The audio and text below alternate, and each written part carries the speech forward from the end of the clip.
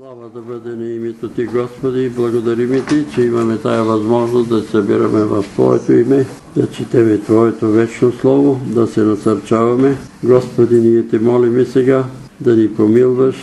Дошли сме при Теб и Ти си ни обещал, че който дойде при Тебе никак няма да изпад, бъде изпаден вън. Амин. И затова вярваме, че Ти си вземал нашата защита и затова те молиме да опазиш това събрание. Да ни опазиш от лъже христи, антихристи, сатанисти, комунисти, терористи, бандити, еретици, които се промъкат по църквите и разнасят пагубни ерици.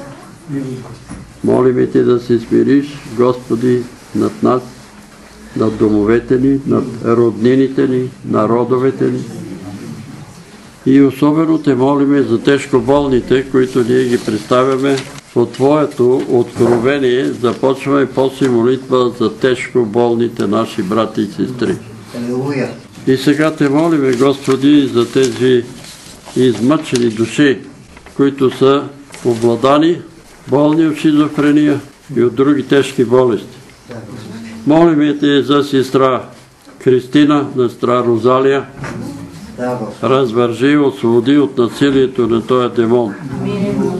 Молиме Те за Людмил, развържи го, освободи го от този демон, който го кара да се самоубие.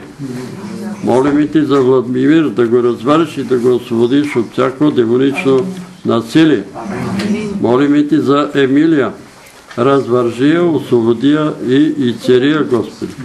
Молиме Ти за Кристина, от, на сестрата Минушка от демона на шизофренията.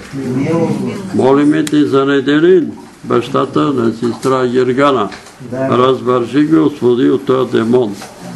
Мило за Атанас, Господи, това момче от толкова години от му го познаваме. Вразуми майка му, Господи, да изхвърлят тия партизански книги от дома им и да разберат, че това е причината. Това момче да бъде развързано и царено. Мило за сестра Любомила, съвършено да бъде освободена от този хитър лукав дух, който я отклонява. Молиме те, освободи Аднели от дух на страх. Молиме те, развържи Александра на сестра Богина. Освободи Иван. Помилвай го, Господи, и смили се над него. И Величка, болна от шизофрения, сестрата на сестра Тори, болна от шизофрения, Величка. Развържи я, освободи я и цария. Некои от тях считат, че тия хора са се разболяли поради извършени магиосничества срещу тях. И затова ние те молиме да ги развържиш, да ги освободиш, да ги изцелиш. Също те молиме за спасение и покаяние на Зарко и Емилия, на Петя, които е възможно да им е направено магия. Ние те молиме да ги развържиш и да ги освободиш. Господи. Молиме те за Димитър, бащата на Димчо, за освобождение от атеизъма и да повярва и да се покае. Амин. Молиме те за Костя, брата на сестра София. Той е руснак, но за нас няма значение. Ние те молиме да го освободиш, Господи, от този демон на наркозависим, но най-вече от безбожието и неверието да го освободиш. Молиме те, Господи, за обладаните Милена, която е обладана от паника така от Казанлък. Молиме те за Кирил, сина на брат Кирил Шидеров, обладан от дух на Хазар. Молиме те за Имела, която също е обладана от некъв дух и я кара да и пее разни народни песни. Развържи, освободи и Тервел. Молиме ти за Красимира, осво- освободи дъщерята на брат Явро, демона на алкохола. Милост за Красимир, освободи го от алкохола. Молиме те за Ели, освободи от дух на лакомия. Молиме те на брат Иво, алкохол, сестра Цецка Синай. Развържи го, Господи. Молиме те за Виолета племеничката на брат Иван освободия от хазарт и наркозависима е. Молиме ти за Стоян и Даниела, депресирани де, синовете на Таня. Молиме ти за сестра Натка от Ловеч, депресирана.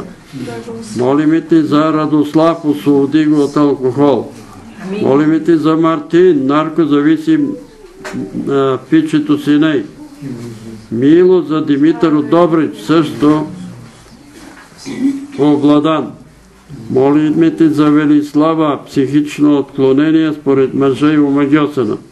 Молиме ти за сестра Милка, 50 годишна, развързи я, Господи, освободи я от дух на шизофрения. Молиме те за тежко болни хора. Кирил от Бургас, рак на панкреаса.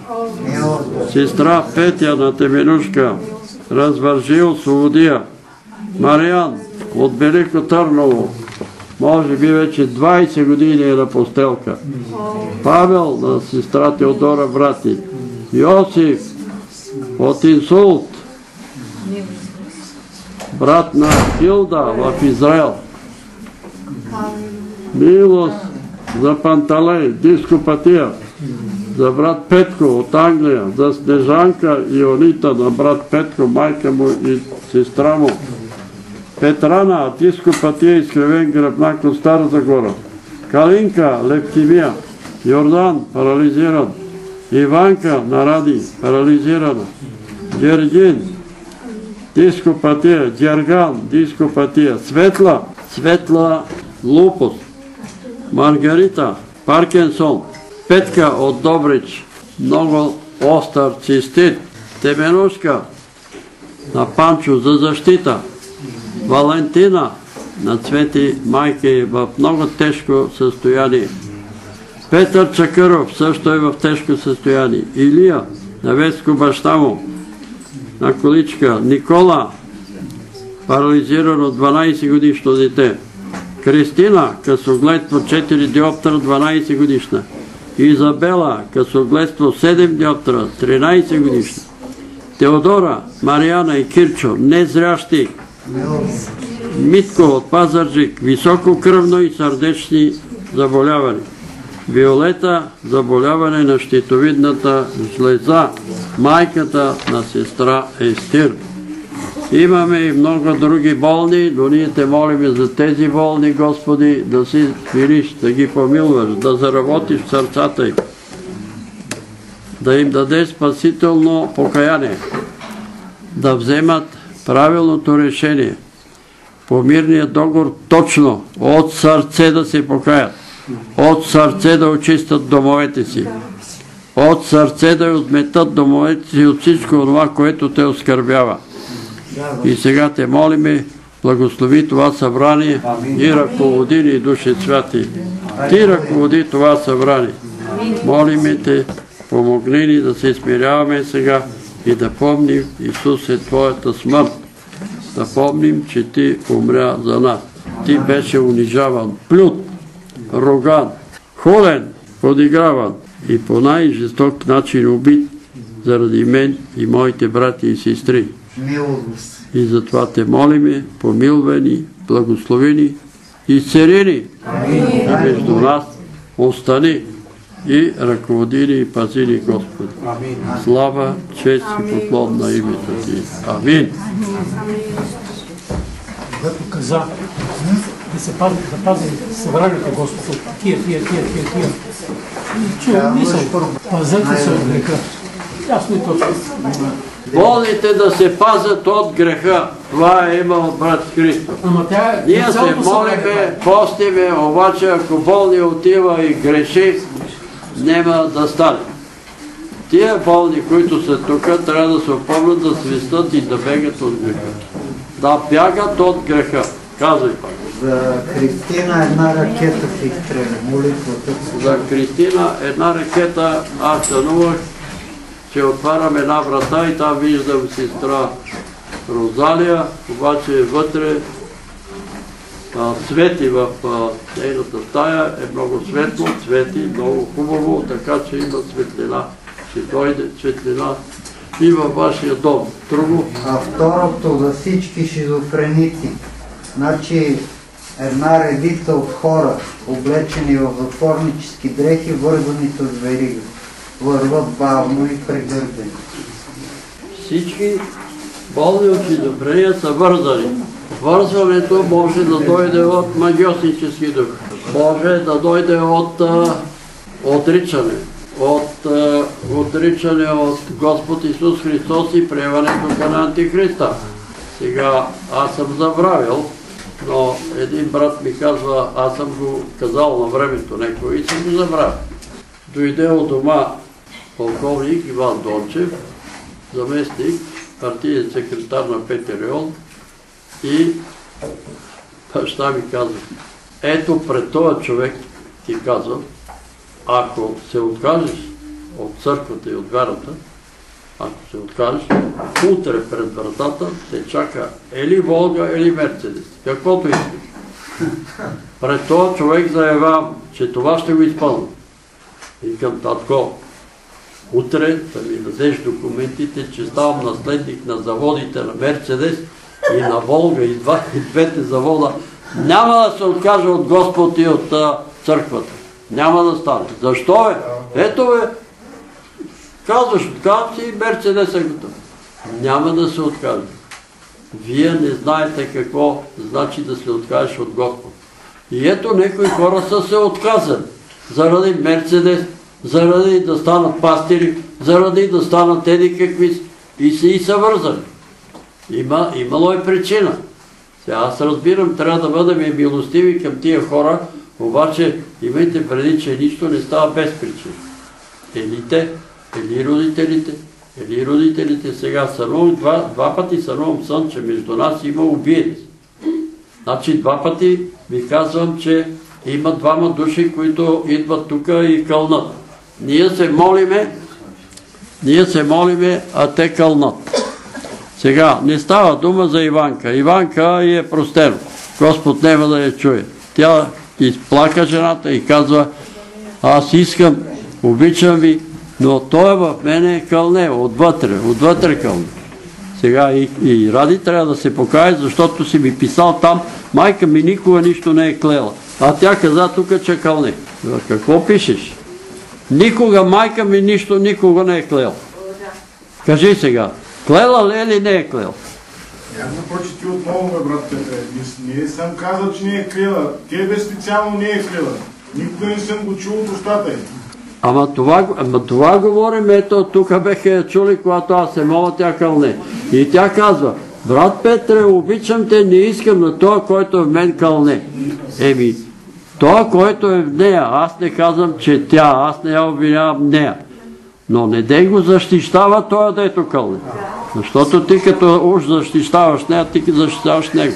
Защо кълне? Защото е обладана, защото има в нея такъв дух. Аз ви казвам, хора, които ме обичат, викат, брат Петре, аз те обичам, съгласна съм да ти измия краката и да пия водата и рано.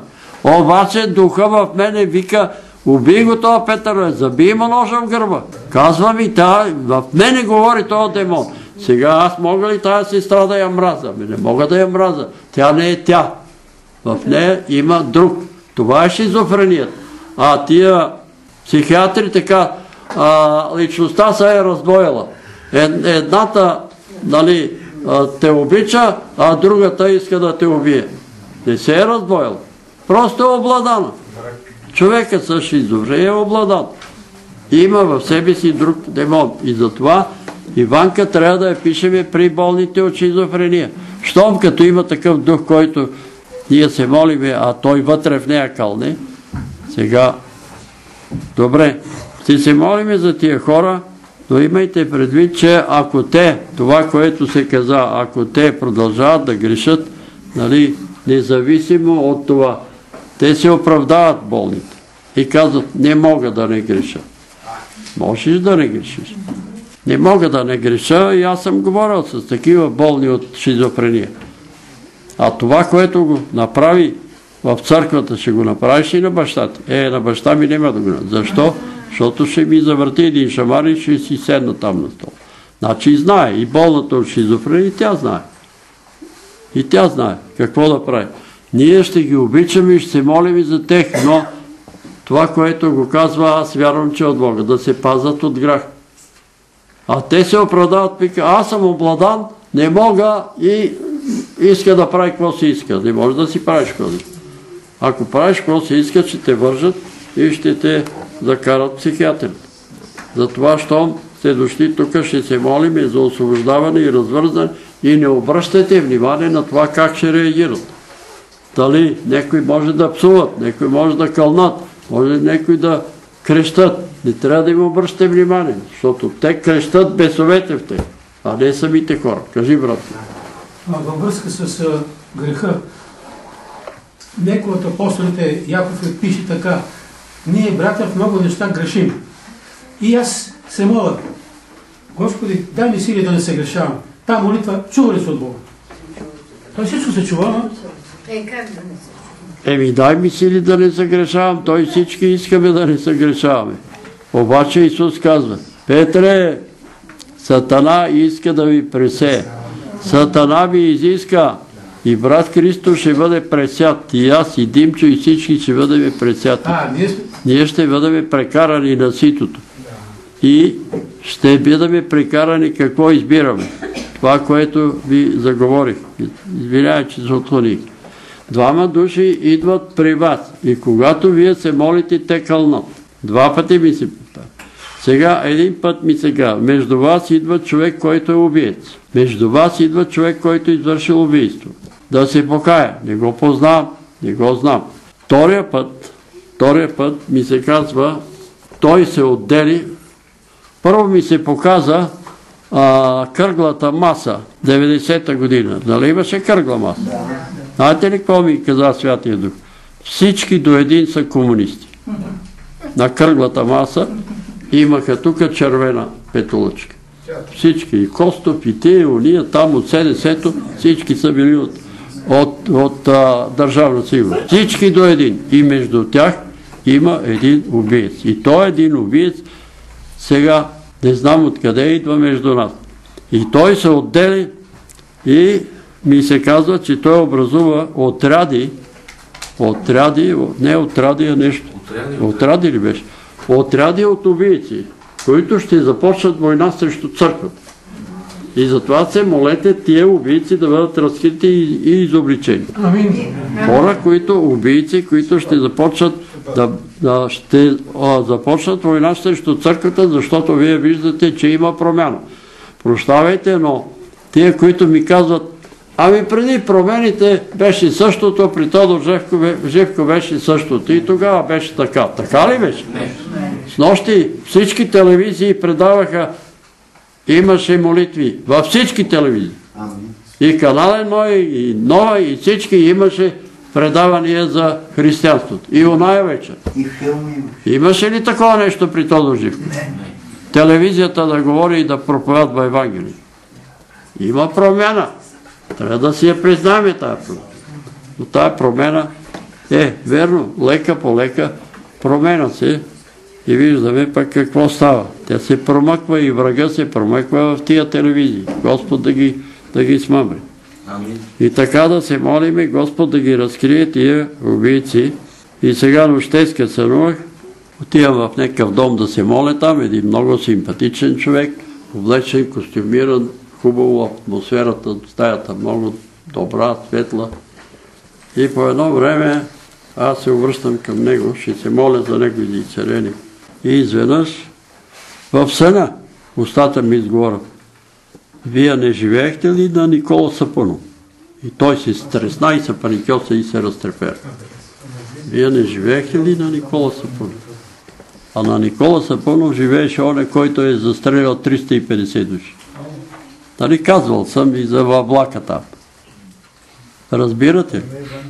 Може би ще ме поканат да се моля за някой такъв, който е убиец. Какво да правим? Ще се молим и за убийци. Ама да не се представят за светци, а да падне и да каже, аз съм убиец. Нали? Ето, тук дойде, тук, това една вечер дойде, късно беше, дойде един човек и каза, моля ми се, молете се, аз съм убиец. Аз съм убиец. Аз убих човек. Аз бех милиционер. И на Христо Ботев, ето тук на Христо Ботев, видях един мъж да бие една жена. И аз му казах, остави жената. Обаче той се завърта и като ми удари един пестик и ми събори на земята. И аз извадих пистолета и го застрелях. И се оказа, че този мъж бие жена си. И ме вкараха в затвора. Излежах си, вика, обаче от тогава няма мир. И Библията пише, до края на живота си убийца ще бъде преследван от това, което извърши. И ние се молихме за този милиционер. Господ да му даде мир. Ето той изповяда греха си. И пак ще се молим, ако дойде такъв човек. Но той трябва да признае, да каже, аз съм извършил убийство. Сега да не говорим за това, че всеки аборт е убийство, умишлен. Съзнателен аборт е убийство. Така че сестрите да го имат предвид. Ми добре, сега да попееме малко. Номер 300. Номер 300. Брат Петре, Да, кажи. само да свършим темата, понеже за, за кълнението каза преди малко. И искам да прочета нещо в псалмите. Прочети, майла напред. Понеже стана дума за това, нали, до къв майка, който я кара да кълне. И намерих един псалом тук, който много, много си подхожда. Това е 36-ти псалом. Чети. Беззаконието на нечестивия свидетелство на вътрешното ми сърце. Пред очите му няма страх от Бога, защо, защото той се лъжи в своите си очи, че беззаконието му няма да се открие и няма да се намрази. И така да Искам да кажа, че беззаконието на нечестивия говори в сърцето ми, в гръцкия превод. Тук не знам, вътрешното ми сърце са го направили. Ами вися, на святия човек в сърцето говори святия дух. И той му напомня какво добро може да направи на хората. А на нечестивия човек в него е нечестив дух. И той му говори какво зло може да направи. И вижте какво се получава. Когато, а, когато нечестивите хора извършат някакво нечестие, зло нечестие извършат някакво престъпление срещу някой честен човек и го оплюят или го наранат или го или правят някакво зло, какво правят те? Те се радват. Нечестивите човеци се радват на извършеното зло, защото те с това се хранат. С злото. И затова Исус казва, добрият човек от доброто съкровище на сърцето си изнася добро. А злият човек, той вътре в него бушуват злини. И той това, което ще направи, да направи някакво зло. И като направи зло, той се радва на това зло. Нали? Препъна го. Нали? Ето, това направих, онова направих и се радва. И затова трябва да внимаваме, за да видим какво излиза от устата. Защото той излиза отвътре от сърцето. Добре, номер 300. Пред пулите на то живот Исус е Спасител, света мирея грях поход Исус е Спасител, ето чуден Спасител, синцата и нужен, ето свят изкупител, Исус Create in avrando vento sia desmostava, create Lazareco ve Isus afrisnava, et opere priate ostasis satarinogem, così vecem priate,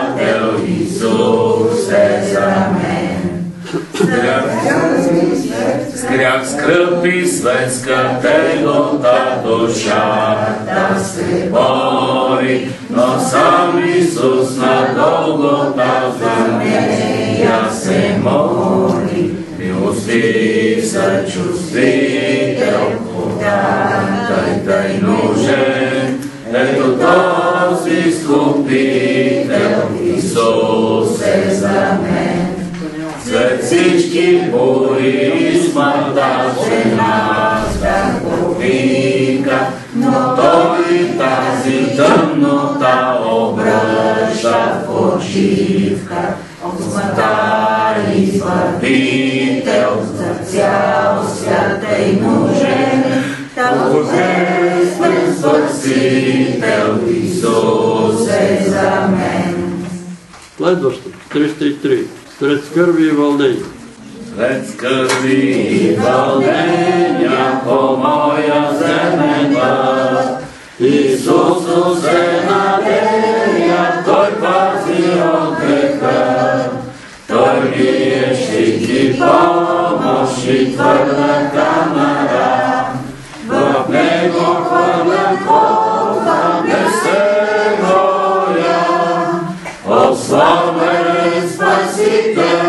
и вечна камара. В Него хвърлям се буря от вода и аз съм уверен, че Той ще ме държи и че ще плувам с Него на си вълни. Душата ми Той пази от грях и от плътта и сладък ми ми дава шума на бурята, когато изпитания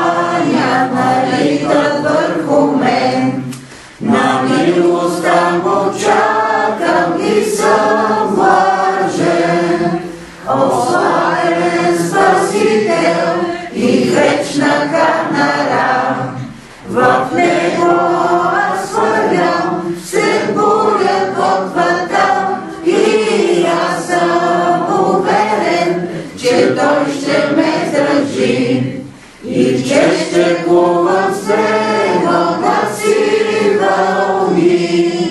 Той ми е Бог приятел и верен гончия, вълните го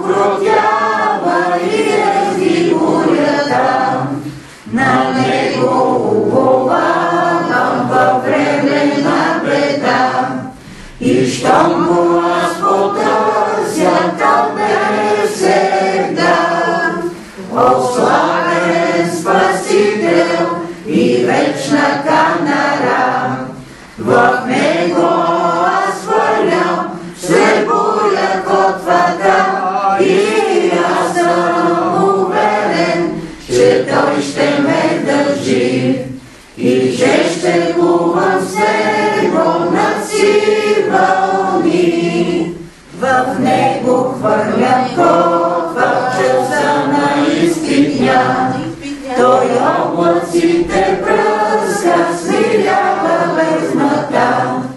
Тогав чрез вяра питам за бурния океан. За мен приготвен славен и тих лиман. Ославен Спасител и вечна канара.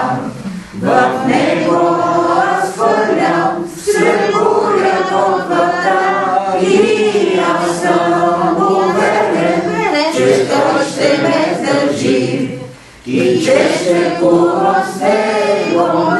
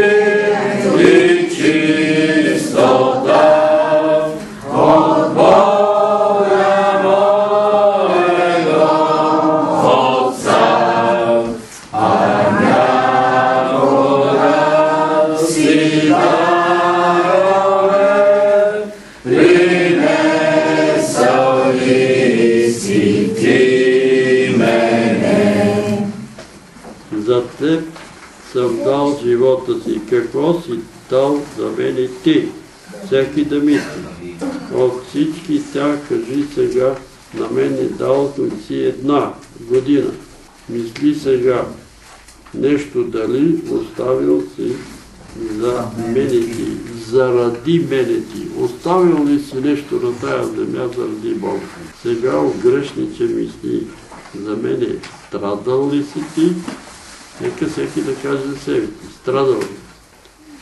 А някога си дарове принесъл ли си и ти? Ами ние тук дарове не принасяме, но Господ иска да принесеме даровете, нашите грехове да му ги принесем и да ги занесем, да да ги закове на кръста и да ни освободи. Сега имаме гости от Русе. Ако брата иска да ни каже нещо или да кажете, имате ли някакви проблеми, да се молим за вас, ела напред, ако искаш, брате. Не се притеснявай. Ние сме, нали знаете, църквата сме едно семейство. И този наш брат е от Русе, и той е от нашето семейство. Те ни слушат в Русе, заедно с нас се молят и сега са дошли да се видим, да се запознаем, да ни кажете нещо, дали да сърчите. Аз се казвам Радослав. От много години ви гледам предаването и има голямо желание да дойда при вас, да видя Да се видим и да се запознаем. Ето това ние, една групичка тук, малко. и нали, както казва Словото, всеки на Свето Бог е дал някаква дарба, Да. да се послужим с нея, нали, да служим един на друг. И аз бих искал или сега, или после да се помолите с една молитва за благословение, за Да се помолим за вас, за съпругата и за детето. Ще се помолим, да. Сега аз просто исках да попитам, ние се венчахме в църквата пред братя и сестри, пастора и други братя и сестри. Да. В друга рага. Няма значение. Дали 50 Господ, дали Господ го е приел това нещо? Да. А, разбира се, че го одобря. И дадохте обещание пред Бога. Нали? Да. Пастира в имане, в немане, в болести, здраво се и за него. Да. Ти за нея се грижиш? Да. Ти обещания стоят пред Бога, независимо къде са направени. Само, че и граждански не сме направили. Ами ви сега, добре е да направите граждански, за да бъдете пред земните власти в изправност, макар че преди 9 септември нямаше граждански.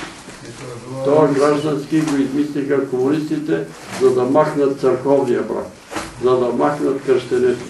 То не може да се махне, защото Господ е казал, портите адори няма да надделеят над църквата. Така че важното е пред Бога да сте верни един на друг, да сте верни на Бога. Това е важно. А пък, когато сме верни на Бога, ние ще бъдем верни на, на властите, защото нали, самото слово казва, покорайте се на земните власти.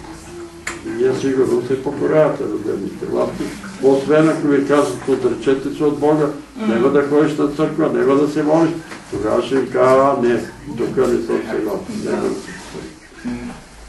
Какво да насърча? Ние сме за малко тук. Днес в страната цяла нощ пътувахме, дойдохме Добре дошли, ще се молим за вас, ще се молим и да се обичаме един друг горещо от сърце, да се прощаваме един друг. И Патрико. Да. Те са от Русе и доколкото знам, там има един свещеник, който правят посрещат възкресение на площада от Заедно. всичките номинации. Да, Има ли такъв? Има, Дали го знае той? Не знам. Как се казва? Ще говорим. Отец Стефан. А? Отец Стефан. Стефан. Той е с... На Великден той и- приема от и католици, и протестанти заедно посрещат Възкресение Христос. В Русе. Аз го знам, това съм го, от него съм го научил. Така че е добре да, да приемате, защото брати и сестри не са само тия, които са от баптистката или конгрешанската църква или църквата е всички верни християни католици, протестанти, православни, които са верни. А има, във всяка църква има хора, които са отишли заради трябва и рибата, заради други неща, заради да си намерят жена или мъж да се оженят, или за други неща, или са болни, искат изцеление, временно са в църквата. Но в небето няма да бъдем само православни или само католици, както някои си мислят, нали? Те си мислят, че там небето е само за православни. То не е така. И църквата, семейството на християните се състои от всички верни християни. Запомнете го. И. Църквата е семейство на всички верни християни. Католици, протестанти, православни, които са верни на Господ. Защото има протестанти предатели, пастири предатели, владици предатели. Нали? Католици също. Има, нали, не може да съгласа аз. Северна Ирландия ми се е запечатила тая е, картина. Една мадама, една жена с е, калашник, гърдите, с мини жуп, разголени крака и казва, аз съм протестантка и воювам срещу католиците. Тя протестантка, тя християнка ли? Не, Тя е убийца. Тя не ми е на мене сестра. Тя е сестра на убийци. Макар, че се нарича християнка и протестант. Същата работа е и с... Нали, сега чувам нещо, дано да не е верно. Чувам, че в Русия са започнали да избиват хомосексуалисти и казват ние ще очистим Русия сега от мърсотията. Дано да не е вярно. Не може. Всеки човек, какъвто и ще да е, убият, крадет, развратник, той е Божие творение. Не може да посегаме, защото Бог е казал, не убивай. Не убивай. А трябва да ви кажа, че същото на времето Хитлер е започнал. Хитлер е започнал да избива обратни, да избива такива магиостици, да избива врачки, гадатели, а после самия той е станал окултист. Той самия е станал окултист. Не може да се убива човек. Какъв ще да е? Ето, ние сме свидетели, аз ви казвам, Венцислав се казва това момче, той не се срамува, изповяда греха си, че е обратен бил в Лондон. Молили сме се тук за него и той да го е напуснал и той сега иска да се търси жена да се ожени и изобщо вика това за мен е мърсотия и гадост и свинщина и, и край. И Бог го освобождава. Той е човек, а ние да почваме да ги стреляме и да ги трепем. Нали? И от тук ще си кажат, нали, тия като Куршумов, а, сигурно и ти си такъв. За такава дума не знам къде ще се събуди. Не знам, нека ме чуе Куршумов, защото за тая клевета той ще бъде изправен на съд пред съдния ден и ще му каже Господ, от себе си ли каза тая мърсотия? Или някой ти каза да отидеш там да я кажеш на това събрание? Някой му е казал да дойде тук да каже тая мърсотия. Защо? За да се оплюят хората. И затова ви казвам нещо, което не сте видели. Не дейте, защото но от друга страна пък аз изживях нещо, което Бог ме зарадва с голяма радост ме изпълни, когато ми проговори, директно чух гласа му. Ако мене гониха и вас ще гонят. Ако мене оплюха и вас ще ви оплюват. Ако мене убиха и вас ще ви убиват. Защото не познаха нито отца, нито мене. Не, не познаха нито отца, нито мене. Тия хора не познават отца.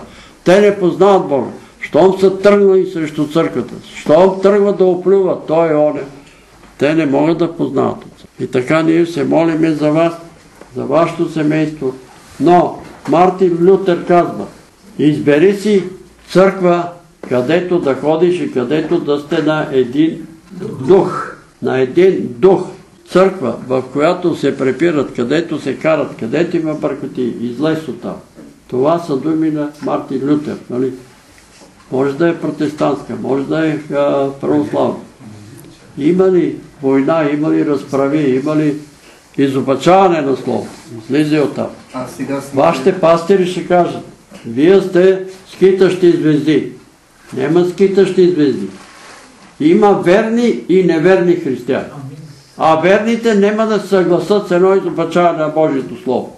Ето, ние говорихме сега тая сестра, ето е тук, тя се разплака, нали? Вярвам, че изповяда се за това, което е казала, че тия братята на Исус. Няма такива брати. Няма, няма братя. Тя Мария не е родила никакви други деца. Не се заблуждавайте. Добре, брате, ще се помолим за вас, за теб, за съслугата ви. Ако имаш, кажи нещо друго. Имаш. Ами аз а, ходих, нали, ходя на църква, обаче сега се чудя дали те ходя, защото попитах а, дали дават класен хляб или безкласен, те казаха, че дават класен хляб. Да, да, църква, тя е баптистка. Не, евангелска църква. Е, тя е евангелска, но може да е баптистка, защото баптистка. Не, а, чиста евангелска от Божия църква даже са А, произнася. от Божия църква. И казах, и аз сега не знам да ходя, обаче да не приемам или пък да ходя и да Ами, друго Не може. не знам. Ми, Аз ти казвам това, което аз съм виждал. Аз не искам да приемам, нали? Е, тук има Господна вечеря, имаше една неделя и попитах какъв е и Марето ми каза, че е безплатен хляб, без да тя не е била наясно. И когато вземах хляба и Жоро тук ли, той ми а, и вземах хляба, толкова лошо ми стана, че щех да го повърна.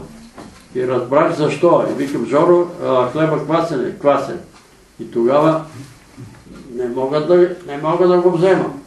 И тогава аз казах, Господи, взимам го като осветен хляб, не като Твое тяло.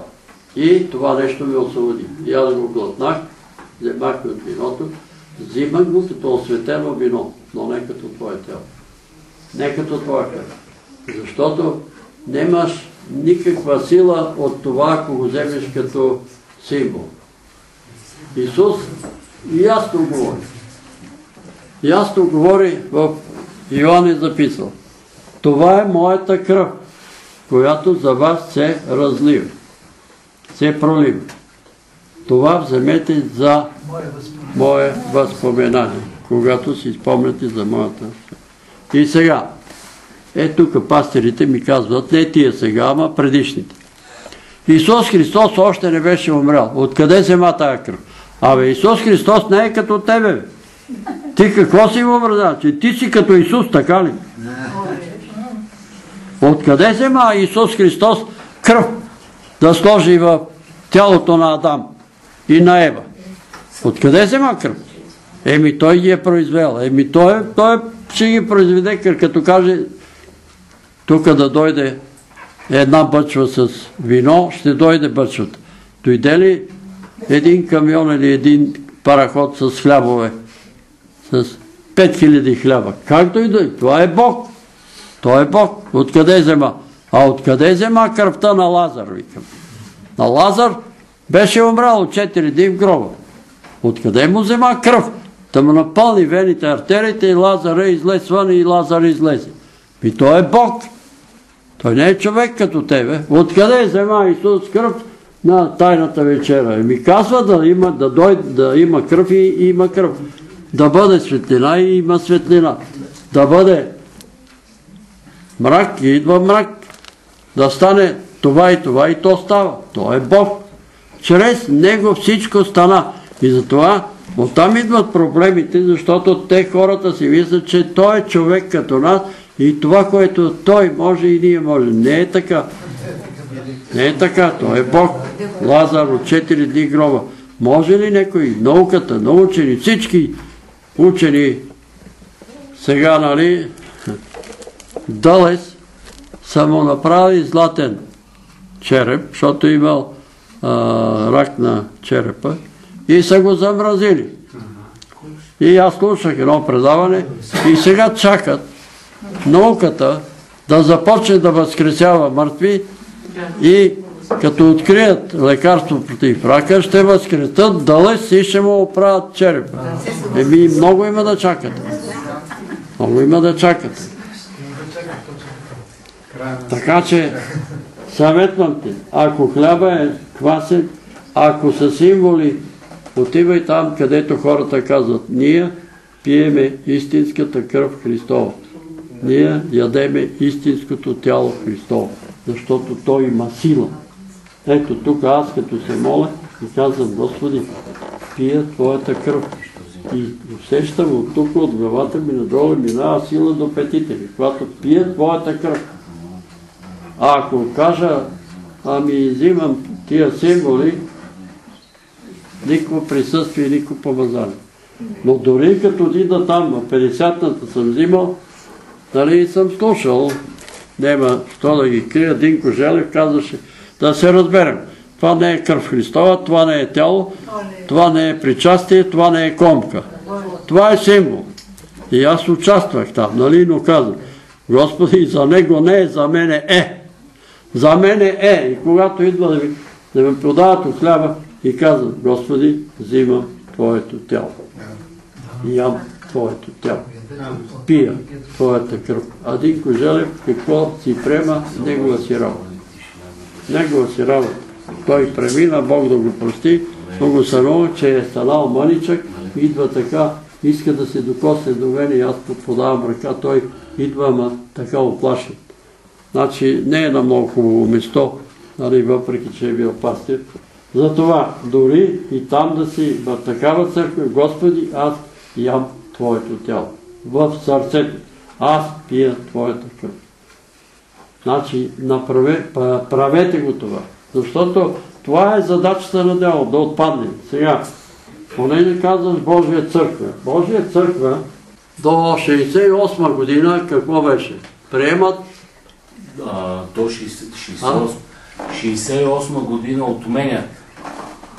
68 година отменят водното кръщение заповедта да не се кръщават деца, което още от Воронаев Руснака е дошъл тука и са започнали втори път да се кръщават.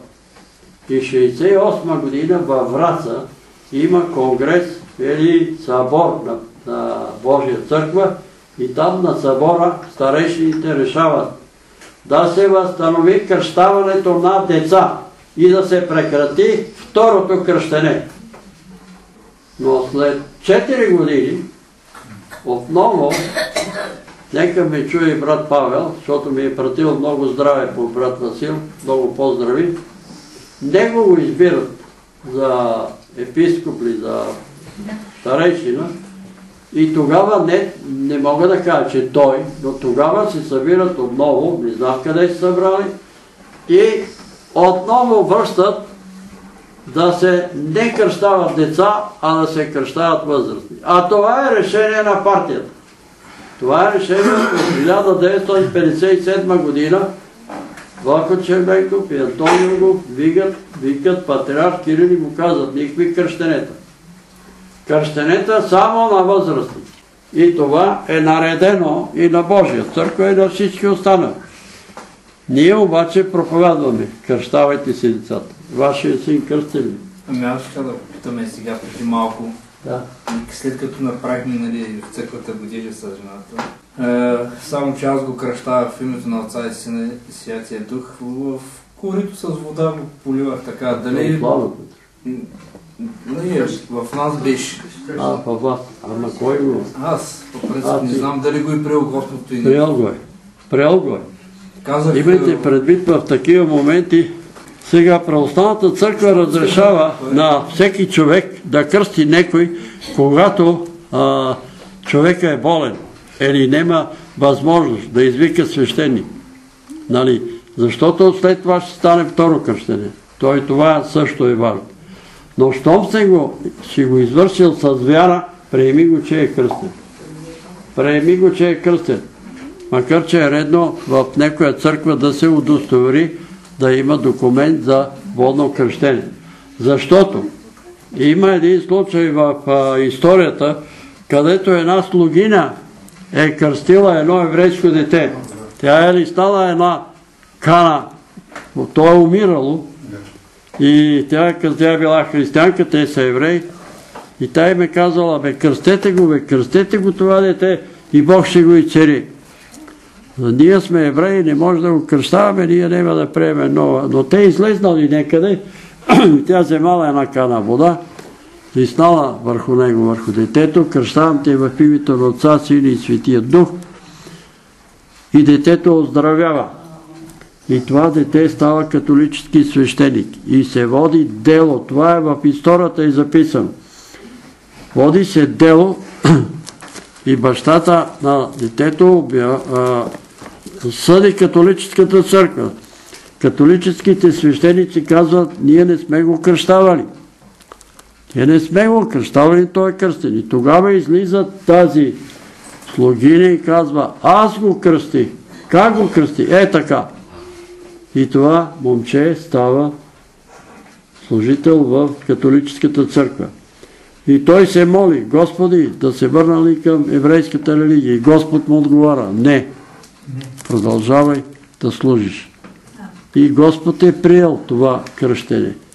Ето такива нали, моменти има, където а ние не трябва сега всички да почнем да кръщаваме, защото не знам, не е редно. Не е редно. Има областени от властите може да те... Да. Помниш ли във Враца, в а, а, Пристанко? В Дупница какво стана? В Дупница имаше такъв случай, караха, аз говорих за тия кръщенета и тогава една сестра стана и казва и моята дъщеря не е кръстен, моето дете не е кръстен. Мога ли да кръста детето? Може. А вие с танко може ли да го кръстите? Ви може. Викам, дай един котел вода тук и ще го кръстим. Защо да не? Аз вярвам, че това дете е кръстен щом като майката иска да се кръсти. А, нали, знам, ще кажеш, нямаш право. Нямаш право, нали, Господ на мен не ми е казал, иди кръщавай. Каза ви, иди и говори на този народ, защото народа загива от липса на знание. Народа загива от липса на знание. Но когато има пастир, когато има свещеник, когато има нали, авторизирани, областени хора с това нещо, нека те да правят това нещо, за да не ни обвиняват. Защото иначе ще почнем нали, всеки да се кръщава себе си или своите си и църквата вече ще се разпадне. Така че аз не, след като е кръстено детето, Моето мнение е, че трябва да отидете при един свещеник и той да му прочете тия неща, които, а, които се четат при водното кръщение. Нали, аз няма да казвам и чакай малко, да не казвам имената, но имаше тук такива момичета, които заминаваха за Америка и искаха им се дадат кръщелни свидетелства и ние отидахме в един манастир там познавах свещеника и аз му казах, те искат тук да се кръстат в православната църква, но те са кръщавани нали, по домовете, в Божия църква, кръщавани са в Пенисатната църква. И той казва, не мога да ги кръста, те са кръстени. Не може второ кръщане. Кръщенето е извършено. Аз нямам право второ кръщане. Но мога да им прочета и да ги помажа, с мирно да ги миросам и тогава ще им издам и не ги кръсти. Не ги кръсти. Те са кръстени, викат. Ама те в дома са и кръстени. Ама в тази методистка, ама няма значение, кръстени са край. Те са кръстени в името на Отца, Сили и Святия Дух. Но аз ще им прочета тия молитви, да се отрече, примерно, той вече на колко години? На пет. На пет. Вече разбира, знае. Отричаш ли се от сатана? Отричам се. Отрече ли се от сатана? Отреквам. Приемаш ли Исус Христос за свой Господ и Спасител? Приемам. Съединяваш ли се с Христа? Съединявам. И тогава свещеникът да го помаже, да може ли, Патрико, да се свърже с този свещеник? Може. Да да го потърсиш къде е, да му кажеш коя църква е, говори с него, да го помолиш, нали? Да прочете и да го помаже с мир. Детето да го помаже да се узакони. Ти ще му кажеш цялата история. Защото аз не ги признавам тия повторни кръщенета, като има решение на Вселенски събори. Забранява се повторното кръщене на Картагенския събор. Обаче шестия Вселенски събор приема всички решения на поместните събори. Забранява се кръщаване второ кръщение. Обаче, доколкото знам, жената на цар Борис понеже е била италянка и е била кръстена в католическата църква, мислят, че са я кръщавали в православната, а то не е редно. А то не е редно да се кръщава в православно, защото е била католичка. То е редно, ако, ако, ако некой е бил приел некоя ерес и е приел некоя ерес и се отказва от ереста, тогава вече може да го кръстат втори път. Добре, да се свържи си с този свещеник, говори с него. Вярвам, че той е толерантен, ще те разбере, не е такъв фанатизиран, а, ти не си православен край. Нали? Да. Така че поговори с него и така. Ето, аз ви казвам, че 68 година Божия църква са решили да се кръщават деца. И 72 година отново са се покорили на властите да не се кръщават деца. Е това е истина. Да не се кръщават и децата да се лишат от благословение. Децата да, да станат 18 години, а до тогава Еми ако падне на 17-та година и умре некръстен, ама той Бог, нали, щом баща ми и майка му са вярващи, няма такова нещо. Няма, а спасението е лично. Спасението е лично. Ако можеше така, нали, баща ми е кръстен, няма нужда да се кръщава. Няма такова нещо. Всеки трябва сам за себе си да реши. И това е проблема. Сега ние виждаме Мартин, къде залетя. Защо? Защото децата им не са кръстени. И всичките деца имаха проблеми. Ето Димче ще ви каже. И брат му криеха ножовете, иска да самоубива. Не са кръстени. А са се родили в църквата, там са израснали, слушали са проповеди, но не са кръстени. Те са отстранени от тялото Христово. Тогава, когато кажеш, съединявам се с Христа, ставаш тяло Христово. То тогава си слушател. Тогава си слушател. Имате думата, който иска да каже некое свидетелство. Нещо. Защото теория, теория, теория, ние ще поговорим сега. Кажи, брат Димчо. Слава на Бога, че Господ така ме изцели. Бех много, много зле. И като се обадих на брат Петър по телефона, така поговорихме и не сме се молили, просто само от разговора и Господ ме развърза, така и ме освободи. И слава на Бога, че дойдох на църква, иначе бях в много тежко състояние. В главата, кръвното, много зле. Слава на Бога. Сега, значи, с нощи от десетина дни отекоха ми краката. Когато ме отровиха, с, ме нахраниха с изотопи в биологическия факултет, ми отекоха краката и станаха толкова. И ме приеха в болницата за отравяне с тежки метали и ме лекуваха там 15 дни и ми изписаха здрав и трудоспособен. Обаче краката си ми беха такива и аз не можех да хода. И оттам от болницата едвам съм се прибрал, но не се прибрах у дома. А отидох в районната поликлиника и казах, не съм закусвал. Може ли да ми вземете, да ми изследвате кръвта и урината? И те ми вземаха кръвта и урината, но се очудиха, че кръвта ми се съсирваше в епроветката. И там се очудиха тия лаборантките. И аз се прибрах и сутринта се звъни на пожар. И сестра ми отваря, и Лера ми беше жива тогава, и влиза доктор Филипова, запомнил съм. Кой е Петър Белев? Аз лежа. Аз съм. Веднага трябва да постъпите в болница. Аз си давам епикриза, на която над 10 лекари са се разписали здрав и трудоспособен. И тя взема, прочете я, здрав и трудоспособен. От вчера е печата. Каза така, завърте се, ни каза довиждане из вратата. И аз се, се лекувах. С това, с това обаче краката си стоят а, отекли. А това ми е втори случай с отичане на краката. По едно време сънувам сън.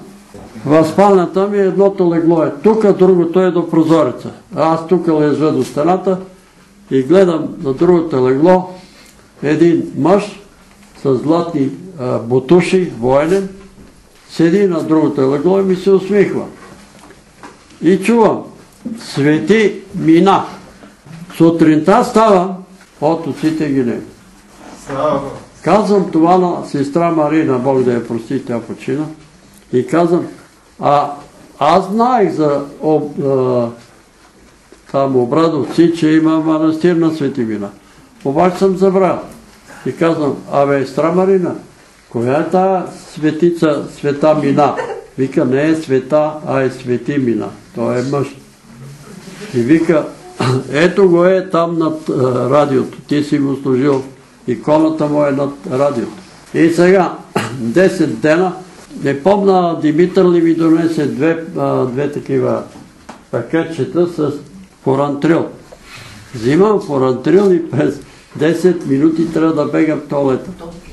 Обаче с нощи, както си а, седех, почнах да рова, брат а, Патриков ми е дал един молитвеник и аз търсех да видя дали тия песнопения, дето ги изпълняват там Пловдивската църква, дали ги има молитвеника. И като търсех, обърнах и видях а, свети мина. И там пишеше молитви за загубени вещи. Обаче, нали, аз нямам загубени вещи, май да имам, няма да се моля за загубени вещи, ако не са нещо сериозен документ някакъв. И се сетих, абе аз се мъча тук да си оправя краката с тия, какви бех порантрини, Абе, я да се помола на Свети Мина, а Димчо ми е купил една икона на Свети Мина и сега ще ми чуят протестантите, о, иконоборец, не иконоборец, а иконопочитател. И се помолих. Е, казвам ви, каква ми е молитва. Свети Мина, преди много години ти дойде в моя дом, в моята спалня и седна на другия креват и ми цери краката. Краката ми беха толкова отекли. Сега също са отекли и не се влияят от никакви фурантрили. Моля ти се, помоли Господ Исус Христос да те прати пак да ми цериш краката. И ставам сутринта и си поглеждам краката. И като ги поглеждам краката, краката няма никакъв фото. Никакъв. Долу краката ми като щеки. Никакъв фото сутринта. И сега, а, ама ние не можем да се молиме на светите. Ви, ако иска да се молите, аз ви казвам резултата. 15 дена се занимавам с форантрил и не знам какво да си оправя от... С нощи се помолих, ето краката ви се оправя. От очите се изчезне. Ама с нощи, както си легнах сутринта, така си заспах. Как стана? Къде отидоха ти от? Господ знае. Господ знае. Ако искате ми вярвайте, аз ви го казвам, това съм го изживял. Ето, свети мина. А защо свети мина? Ми защото са му резали краката, слагали са ги в а, обувки там, е, нали, а, горили са ги. И той е мъчен бил точно в краката. И понеже един път съм го изживял, с нощи се помолих, ето краката ми, няма проблем. Отоците ги няма. Изпарили са се. Как се изпарили? Не знам. Не знам. Трябваше с нощи някой да ми види краката и сега да ги види, за да повярвам. Като натиснах е така с палеца, палеца ми потъваше в крака. Нема ги. И сега, още нещо. Като гледах този молитвеник, забелязах някои неща, които вкарват хората под проклятие. И тия анатеми са изговорени на различни вселенски събори. И една от анатемите е който осквернява и унищожава икони с образи на Исус, на Дева Мария и на светиите. Има такава анатема. И тук Бойка, тук ли е? И та, а така, и ти я слушаш Мария, Мария е под проклятие, тя е под анатема. И ти като я слушаш, попадаш пак под анатема. И ние сме свидетели, Цецка тук ли? Дойно. Ето Галина. Помниш ли я Галина? Да. Събрала всички икони и ги е фърлила в кофата за буклук. И от тогава няма мир. И аз си казвам, от това ти е. Ходихме ли с Димчо, неко? Да, бе, ходих. Ходихме, с Цветка ходихме, с други ходихме при нея. От това, те- не, това не е верно. Аз вярвам на брат Борис, аз вярвам на Божия църква ми. Вярвай си на Божия църква. От това ти е. И аз ви казвам, запомнете това. С Томи Караколев. Той е пастир в Божия църква на Гара Елимпелин. Вика, брат Петре, има много оплаквания, много болни. Тук по селата около Елимпелин. И отиваме ние с него от село на село, събират се там хората и ги питам. Първата ми работа. Имахте ли икони на Исус Христос, на Дева Мария? Имахме. Къде са? Фърлихме ги в туалетната. Защо? Ми защото дойдох от Божия църква и казаха, трябва да си изпърлят туалет. Е, от това ви са проблеми. Томи Каран Колев е свидетел на това. От село на село ходехме. От това ви са проблеми. Ао, покайте се. Абе, жено, имаш ли снимка на бащата и майката? Имам, дай да ги видим. Може ли да я фърля в туалета?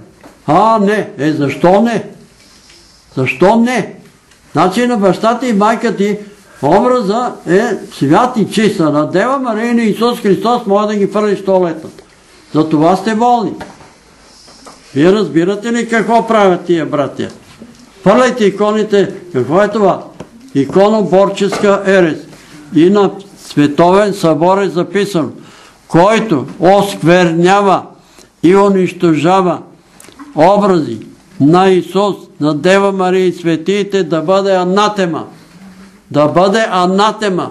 И тия, които го правите, разбира се, една икона, която е остаряла или изгорена, има такива, може да бъде унищожена. Но когато се прави с умисъл, както пише за Света Богородица, който говори и изговаря думата Света Богородица с ирония, да бъде анатема. Ха! Света Богородица. Такъв човек попада под анатема. Той е под анатема. Затова, който нарича майката на Исус Христос човекородица или Христородица, да бъде анатема. Такъв човек е анатемосен. Това е ерес. Разберете ми.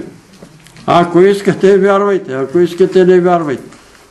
Но аз вярвам, че когато почиташ, защо преследват комунистите иконите и, и ги чупат и ги трошат? Дали няма значение? Нека да си има икон. Нека да си има икон. Може ли да кажа едно свидетелство за иконите? А, да, кажи, кажи се. Ама, ела по-насам да мога и аз да чувам. Чули? Напред.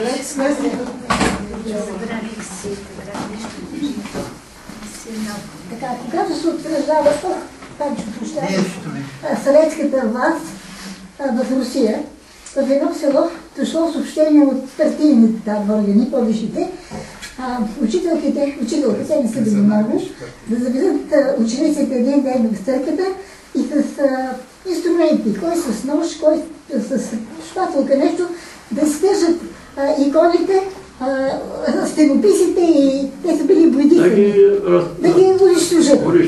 Така, учителката стояла на страна и не е взела никакво отношение. Момчетата се борили, подрители, се драсна тук, драсна там, и айде навън, да си играят. Учителката не реагира. Обаче едно момиченце, много старателно, ама търкало, ама търкало. Другите деца казаха, хайде, хайде, отиваме си. И, и така, докато не изчистила всичко от иконата, момичето не се тръгна. А са били на 12-13 години. Така, прибият се децата вкъщи. След това три дена майката и бащата на момичетото отидат с каруца в друго село има ли нива, да поработят на нивата. Без да има нещо на пътя, препятствие, нещо лошо, познат път, каруцата се обръща. Момичето изхвърта, колелята да минават през краката му и го усъкъцяват. И така до края на живота си то не е стъпил на крака. Ставало трайни инвалид, на легло и така нататък. Така. Това е сега искам да кажа. Добре. Да. Добре, и аз искам да ви кажа нещо. Бех на сватбата на Мата и Крум в Дивотин. Там имаше един човек на около 90 години. Сух, старец такъв на 90 години. И аз казвам, сигурно си бил овчар, че си доживял до 90 години той. Ха! Овчар, 30 години под земята, вика, в въглищата там. Миньор, Миньор. И вика, брате, годините, дълголетието ги дава Господ. Не е и овчар да си, къвще да си вика, той ги дава. И викам, вие тук сте крайни 50 такива, какво мислите за иконите?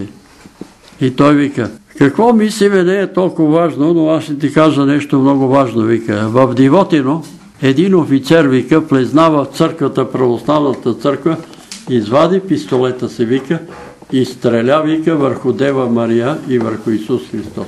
Стреля в църква. Минаха години и неговия син, вика, се заиграват с някакъв друг син на офицер, с някакъв пистолет и оня приятела му взима пистолета на баща си и застрелва сина му в сърцето с пистолет. Това, вика, стана в Дивотино. Дали аз съм от Божия църква. Това какво означава да стреляш по иконата на Исус и на Дея Мария? И това означава омраза. Ти избълваш омразата си. Дали няма значение? В село Моми Проход, това ми го разказват вярващите от Евангелската църква. В Моми Проход с Петър Николов ходихме там, той прожекира филма Исус, молихме се за болни хора, там преспахме и те ни разказаха, имало там някакви такива войници, нещо работели, по пътища ли, по жепето ли, трудоваци. И той офицера ги закарал горе на манастира и им казал да съборат, да махнат иконите, да изсвърлят иконите и на църквата отгоре да качат едно червено знаме.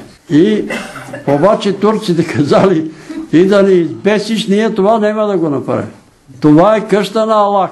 Какъв Аллах бе? Вие сте, вие сте са безбожници, те са християни. Нема да го направим. Обаче некъв бил е сигурно такъв българин, не е бил турчин, качва знамето на, църквата отгоре. Не на църквата, а до църквата имало някакъв бор и той се е качил го е качил горе на бора знаме.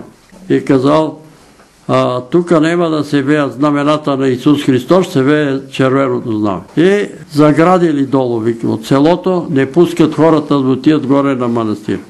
Обаче хората, това и долно камарца го прави. Мен са ми казвали доле на, на моста е имало отраници, които обаче те минават от други места. Мине от там през реката нагоре и пак горе ли. Събра се, вика, народа там и той говори и гърми там. Заблудени сте! Ето, това е истината. Това знаме, червеното знаме ще победи. И в това време се заоблачи се вика и каза, бам, един гръм вика отгоре и като удари знамето и то падна на земята и хората викат Слава Тебе, Господи, слава Тебе! Нема, да го има червеното знаме. Това ми разказаха хората от селото. Имало е такива случаи. Ето, той е стреля по иконата. Това ли ти е работа, бе? Като това ли си станал офицер? Да стреляш по иконата. Да стреляш по Исус Христос. Разбира се, Дева Мария той не я оцелил, не я е наранил. Обаче това е злобата, която е в него, това дух, който е реагирал. И сина му замина. И може би си мислите, това е измислите. Опитайте в разлог, също е имало такъв случай. В разлог. И сина на офицера е застрелял сестра си. Сина на такъв офицер е извършил същата мъртвотия и застрелял сестра си. Питайте в разлог, ако има от разлог, нека ме чуят, нали? Те знаят от разлог. Затова казвам ви тия неща, за, да внимавате, защото такова кощунство Господ го усеща. Една гавра, една подигравка с... Знаете ли какво ми каза този... Айде да не го казвам, че той си сърда, не ми спомена името ви. Един свещеник. Отишъл в а, Румъния и пътувам, вика, в Румъния с рейса, с автобуса. Минаваме по една църква. Деца изправиха се, жени, мъже. Минаваме по край църквата, рейса минава. И всички, вика, се прекръсти. Това е разликата между румънците и българите. Това е. А те са много по-напред. Е, ама сега Румъния ще се откъсне от тази, ама ще се откъсне, разбираш. Тя беше зад нас. беше и а, кои беха още зад нас. Сега ние сме на опашката. В Европейския съюз ние сме последни. Какво означава това? Ми означава страхопочитание. И даваш по край Божия храм. А не да холиш и да да клеветиш или да кажеш това е поп, какъв беше? Харитолник, кой беше? Последният снаряд го пратил в Божия храм. И те се радват, нали, че... Така, 17 глава е късичка, не, избрах да я прочетеме. Малко отгоре ще ви прочета. Йоанна, но 16 ще ви прочета нещо. Ето настъпва час и настъпва вече да се разбягате всяко вас и мене самичък да оставите. Ала аз не съм самичък, защото Отец е с мене. Това ви казах, за да имате в мене мир. В света скърби ще имате, но дързайте, аз победих света. И 17. Това като каза Исус, дигна очи към небето и рече, Отче, дойде часът, прослави сина си, за да те прослави и син ти, според както си му дал власт над всяка плът. Та чрез всичко, що си му дал, да даде тям живот вечен. А вечен живот е това, да познаят Тебе, единна го, истина го Бога и пратеният от Тебе Исуса Христа. Аз те прославих на земята. Свърших делото, що ми бе дал да изпълня.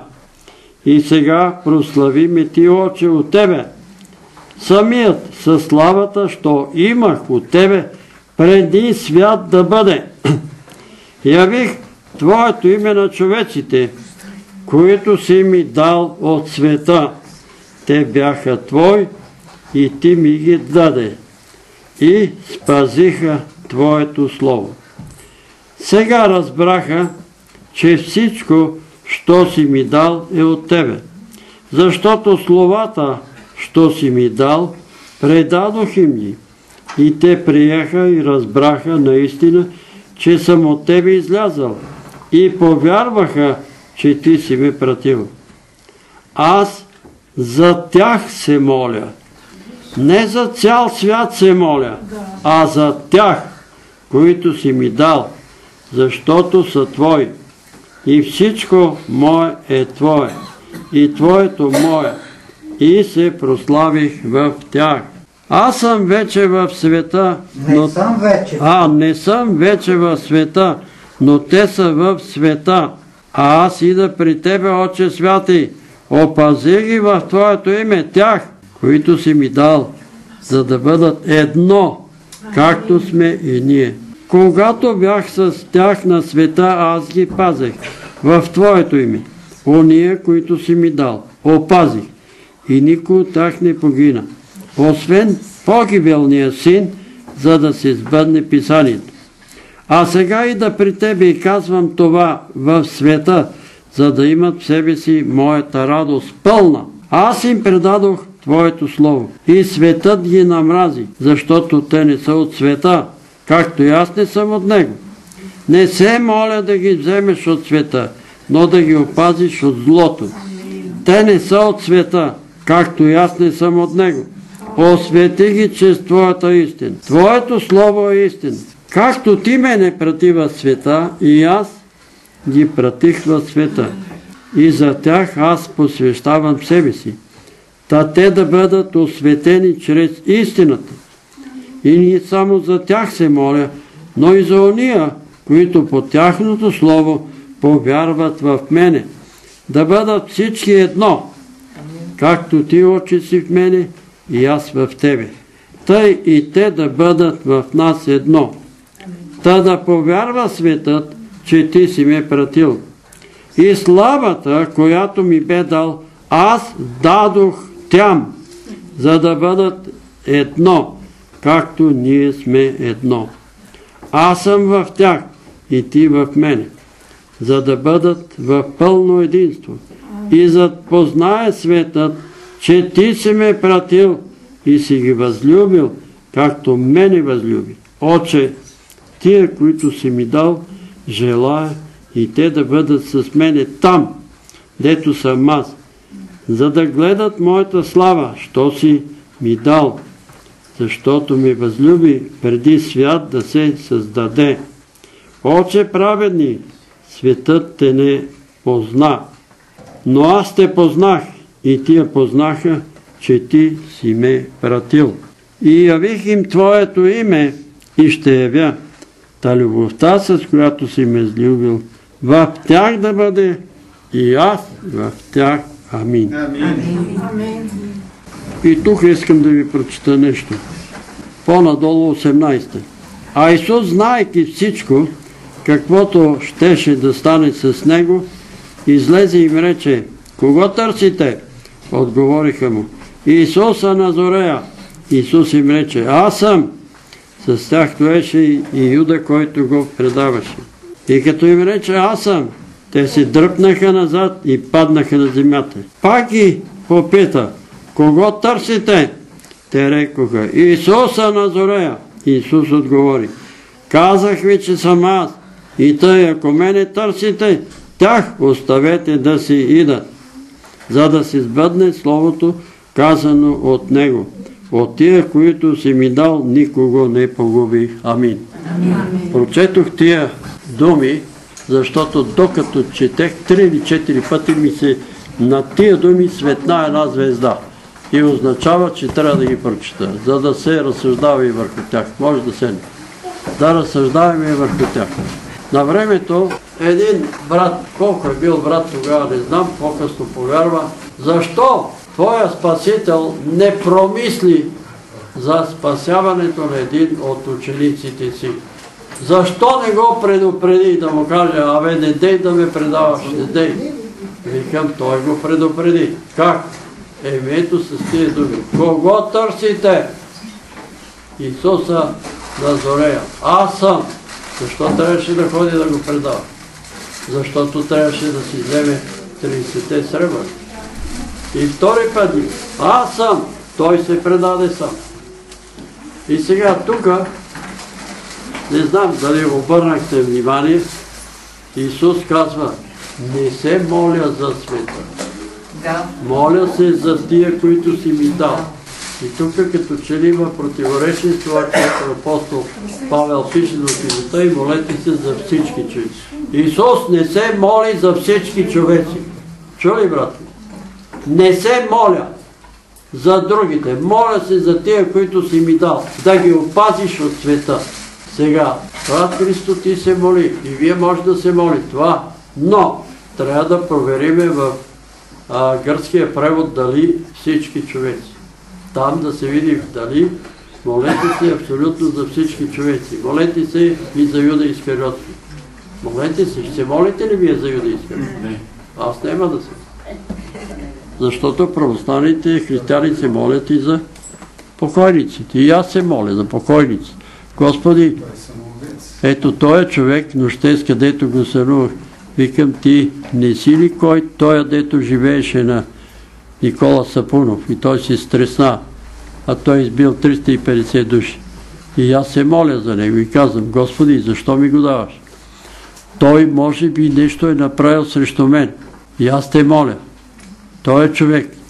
Ако нещо ме е наклепал, нали, пред властите, или е бил настроен срещу мен, аз от сърце му прощавам, моля те и ти да му простиш. Но аз не мога да се моля за уния 350 души, дето ги е избил, Господи, прости му. Ще му прости ли Господ? Не. И няма да става. Но мога да се помоля за него, за умрелия. Това, което на мене е сторил, да се помоля и да му, да му прости. Много обичах да разказвам истории с цар Борис. Те истории са ставали и с моя баща, ставали с моя дядо Никола. Цар Борис, баща ми е служил в гвардейския полк. И тогава от Камарци се ходеше в Саранци пеша на влака. До Камарци нямаше влак. И той е бил на Саранския бър. И той ми каза баща ми, спира една кола и виждам цара, цара и Кирил отпред а отзад в колата жени, там царицата и, сестра. И цара спре. И аз застанах, козерувам, Ваше Величество, и той казва, Войнико, за къде си? За София, Ваше Величество. Качвай се в колата. И аз се качвам отзад колата и казвам, и нали, баща ми. И без да искам се допрех с крака до царицата. И си дъпнах крака, викам, нали да не помисли царицата, че искам па да я свалям. Нещо или. И спират в Саранци, спират в Саранци и Кирил, влезнахме в ресторанта и казал, момче, какво ще пиеш? Едно вино, Ваше Величество. Дадаха ми едно вино, една чаша вино и цара нареди на всички по трапезите по една ядене по едно пиене. Каквото има по трапезите да им се даде от Негово Величество.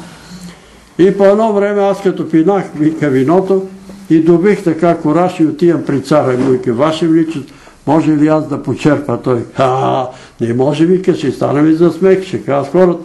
Един войник, тия царското семейство, толкова и за сиромаси, че един войник трябва да ги черпи. Не може. Тия неща ги разказвам, защото това ми го е казал баща ми и той няма да ме лъже. Това се е случило с него. И били са, сестра ми е казвала, че са били ходили са си така по улиците, некъде до паметника Левскини и по едно време минава, вика един човек и баща ми застана мирно. И викам, абе татко, какво заставаш мирно? Той вика, не виж, това е цара ви. Така хората са почитали и са уважавали цара. Дедо Никола, отдолу към Марци, казва, изкачвам байра, вика Саранския байр, и една кола спрела там. И аз като почнах да псувам, тия софиянци немат ни си работа тук, пречат сега бивовите, не могат, ще спрат, после не могат да поемат и псувам. И стигнах и като отидах при него, видех, че е цара. И като видех, че е цара, свалих си шапката и Ваше Величество, ние селените сме много прости, вика. Ние сме толкова прости, вика, че само знаем да псуваме. И прощавай ми, Ваше Величество. И той казал, господине, а той се обръща към мен и вика, господине, машина бе спре и не ще да тръгне. Вика. Аз не съм голем специалист, ама търса да намеря къде е повредата. Извинявай. Цара ми се извинява на мене, а на мене простия селен. И много обичах тия работи да ги разказвам. Нали? И други случаи от селото, които се е случили.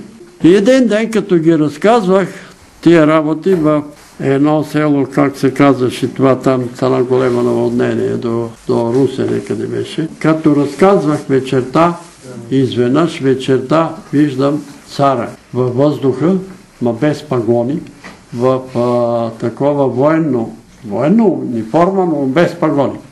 Стои в въздух и чувам, да не би това да е Твоя небесен Отец, да толкова го величай. Ядосан глас и се стреснах. Това да не би да е Твоя небесен. Цар Борис. И от тогава, за съжаление, пак ви ги разказах тия работи. Обаче цар Борис можеше да каже да се помилва в Царов. А в Царов, той е ходил в Царов и майката на в Царов го е хранила и го е посрещала и му се се радвали и той. В разстояние на 24 часа а, смъртната присъда да бъде изпълнена и той е разписал. Ама такива са били времената. И сега в Царов и майка му, ако се молили за цара, и той ще да, да го помилва, ама понеже не са се молили за цара.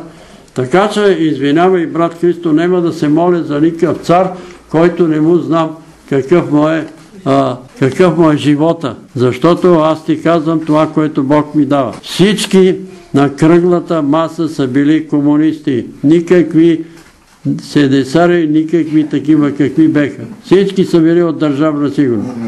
Всички са били комунисти. И сега продължават тия партии. И се борят. И Слави Трифонов, и той, и оне, и после се отказва, и бега, и се... И, и народа, какво прави народа? Гласува за Слави Трифонов. Гласуваха за Слави Трифонов. И сега И аз да се моля за тях. Нема да се моля. Нема. Ти виждаш, те се подиграват и се псуват в Народно събрание. Псуват се в Народно събрание. Са ти? Аз да, се, да ги благославям ти. Господи, измети ги от Народно събрание. Амин. Е, това е молитвата. И, и ще дойде това, което Господ казва. Временното правителство на Керенски. България ще има временно правителство, докато дойде диктатура, защото той е народ от, от добро не разбира. Той разбира само от камшики от диктатура. Така че за царе и убийци няма да, се моля. А за Хитлер няма да се моля. Защото на мене са ми казвали, ето сега Бог да го благослови, Беско Лазаров, но той е изровил нещо от историята, че много евангелски пастири са поддържали Хитлер и се правят на много велики пастири, нали? А са били на страната на Хитлер. А на мен ми е казвал Русинов. Русинов ми е казвал, че в неговата, в 50-та църква, на всеко събрание в среда е ставал един човек и се е молил много усърдно. И се моли, моли, моли, моли, Господи, моят човек да спечели войната. И го питаме, кой е твоят човек? Като спечели войната ще каже. На всеко събрание. И като загуби войната, накрая той вика, моят човек Русинов не можа да спечели войната. За кой се молиш? За Хитлер. Той човек се е молил за Хитлер. Нали е високо поставен? Той е изпълнявал точно словото за високо поставени. Хитлер е високо поставен и той се е молил за Хитлер. Ще спечели ли война? Нема да спечели. Нема да спечели. Ама той може да си е живял добре тук в София, че нали, Хитлер не е атакувал. Сега, друго искам да ви кажа. Освен това, не се моля за света. Само за тях се моля. Само за тях тия, които ще повярват. Не се моля за Юда Искариотски. И така, молете се както искате. Това, което брат Христо говори, молете се за Радев. Молете се за министър-председателя. Гълъб ли беше той? Си пътяга. Той ми, те ми харесват тия с министър на вътрешната работа и Гълъб. Нали, вършат работа. Господи, благослови ги. Така, другото нещо, което искам да ви кажа в молитвата на Господ. Аз за тях се моля.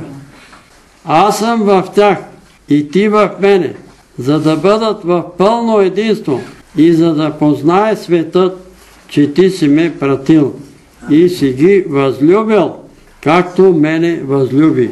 Исус не е в убийците, Исус не е в богохулниците, Исус не е в антихристите, Исус не е в комунистите, не, макар че некой комунист може да е повярвал. Аз съм свидетел. Стоянка Карушкова, бивша партизанка, повярва Бока и цари от рак. Генерал Михо повярва на мирния договор. Бока и цари, Бока и цари, майка му от рак. Рак на цари. Добри Джуро повярва. Тия хора, комунисти, повярваха. А много християни не повярваха на откровение. Не повярваха. И сега, да бъдат всички едно. Както ти, Отче, си в мене и аз в тебе, тъй и те да бъдат в нас едно. В Отец, Сина и Светия Дух ние да бъдем едно, независимо къде ходиш на църква. Православна, католическа, адвентна и каквато и ще да си. Аз в тебе, тъй и те да бъдат в нас едно за да познае светът, че ти си ме пратил. И аз не само за тях се моля, но и за ония, които по тяхното слово ще повярват. Ще повярват в нас. И за тех се моля да бъдат всички едно. И тук обърнете внимание на това слово. И славата, която ми би дал, аз дадох тям на друг превод е на тях, за да бъдат едно, както ние сме едно. Аз няма да отдавам слава на апостолите. Аз няма да отдавам слава на светите. Аз няма да отдавам слава на Дева Мария. Ако искаш, бе, ако искаш и му дай слава. Исус им дава славата си. Ти ако искаш, можеш ли да ги лишиш от славата? Но не можеш. Можеш ли да лишиш апостол Петър, апостол Павел? Защото ти не им даваш слава. И който ми служи, Отец ми ще го почете. Бог Отец почита светиите, почита тия, които му служат, а вие не искате да ги почитате. Ние няма да ги почитаме. Защо? Защото сте се възгордяли. Защото имате себе праведност. Кой е служил повече на Исус от майка му? Има ли някой да е служил повече на Исус от майка му? Девет месеца го е носила в отробата. Хранила, обличала го, къпала го, грижила се и за него. Докато е пораз. А, тя е една като нас. Тя е Мария като нас. Като вас ли? Точно като вас. И вие отгледахте Спасител. И вие отгледахте Спасител. И им казах на ти, и те не идват вече при нас тук. Викам, добре сестро, ще съгласа, че ти си като Дева Мария при едно условие. Ако заченеш без участие на мъж и родиш и го отгледаш, този син, и твоя син умре и на третия ден възкръсне.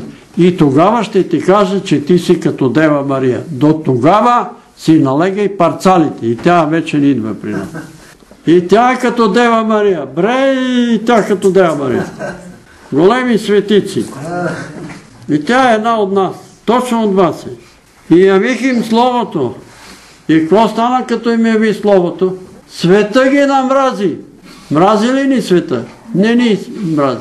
Ръкопляскане. Том ни ръкопляска, какво означава? Какво означава? Не сме приели Слово. Не сме приели Слово. Защо? Защото като дойде Святия Дух, какво ще направи? Ще изобличи света за какво? За грях. За грях. Ще изобличи света за грях. Как? И чрез нас. Чрез нас ще изобличи света за грях. Как ще го изобличи? А ние му ръкопляскаме.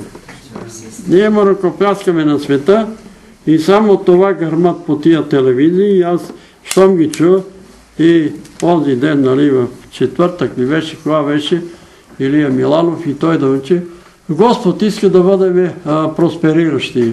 Откъде я вземахте тая дума? Къде иска Господ да сме проспериращи?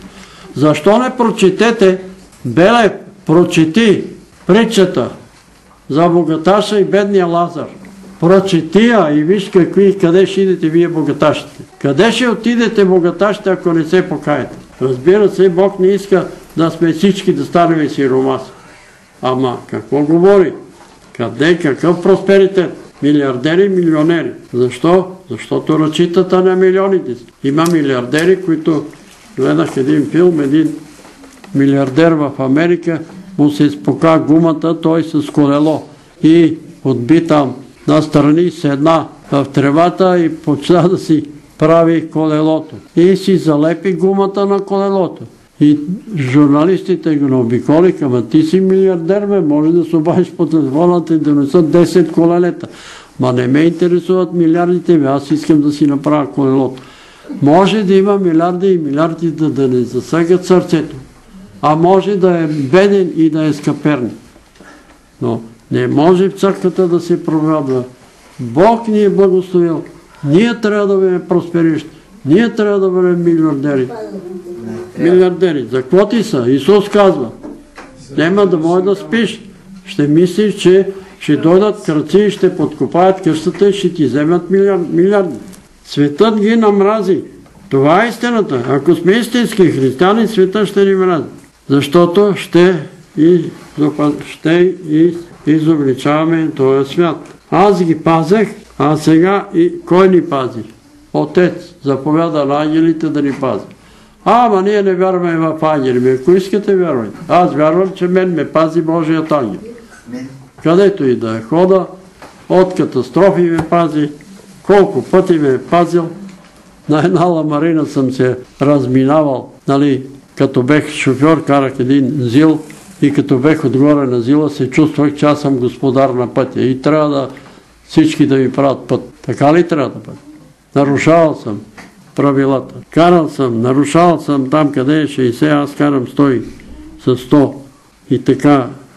И съжалявам, а трябва да сме такива, че да спазваме законите и правилата. Бог ще ни пази.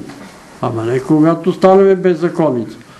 Няма да ни пази, когато станем беззаконни. Ние сме беззаконници и ще преживеем един много вършим беззакония и като се молиме на, за президента, ще преживеем един тих и спокоен живот. А вършиме беззакония. Ще стане ли? Ма няма да стане. Исус казва, махайте се от мен. Вие, които вършихте беззакония. Ама ти, Господи, си идвал, ние сме се причистявали, ти си идвал на нашите събрания. Ти си изцерявал болни. Ти си вършил чудеса.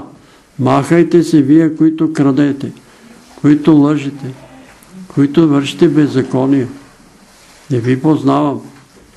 Ама закона е закован на кръста. Не е закован на кръста. Една йота от закона няма да се да премине. Добре, имате думата по тая глава. Може да се изказвате, можете да си кажете мнението. Не се притеснявайте. Нема да ми се караме тук. Сестра ми и прави забележка, бе, не се карай на хората ви. Много се повтаряш едно и също говориш. А един брат ми се обади по телефона. Брат Петре, моля ти се, повтаряй ги тия неща да, да ни се набият в главите ви. Защото ние не може да ги приемем. Ние слушаме лъже учители, които ни казват, не се притеснявай, не се бой. А, това е голема работа. Господ е милостив. Господ е милостив, но греха не е милостив. Греха не е милостив. Един ден дойде един брат дома, обаче Господ ми каза, идва един пророк да те изобличава. И той звъна на телефона на братата, в пара. И той Изпратен съм от Господ. Добре, заповядай да кажи. Бог ме прати да те изоблича. Ами действай, изобличавай. Господ каза, че ти си голем грешник. Ами така си, верно е. Аз съм голем грешник. А ти си не знам какъв там. И това е вярно. Не знам колко работи каза и аз казвам всичко, че е вярно. И накрая казвам, Господ казва, че ти не вярваш в Бога. Аз като скочих от това. Лъжеш сатана! Вярвам в Бога. Може да съм много голем грешник, но тук лъжеш. Той се ухили. Усмихна. А сега викам, чуй какво Господ говори за тебе. Не му помагай, защото Господ Бог твой го остави. Господ Бог твой остави този пророк. Остави.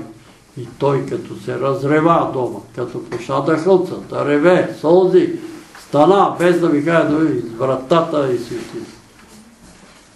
Господ Бог твой го остави.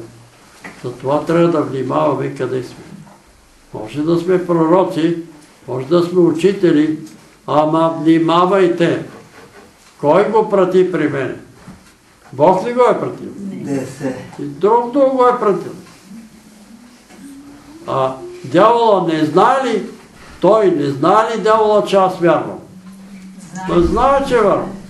Обаче иска да каже от мене и аз да, като казвам, вярно е така, е така, е така и аз накрая да кажа така е. Ма не е така.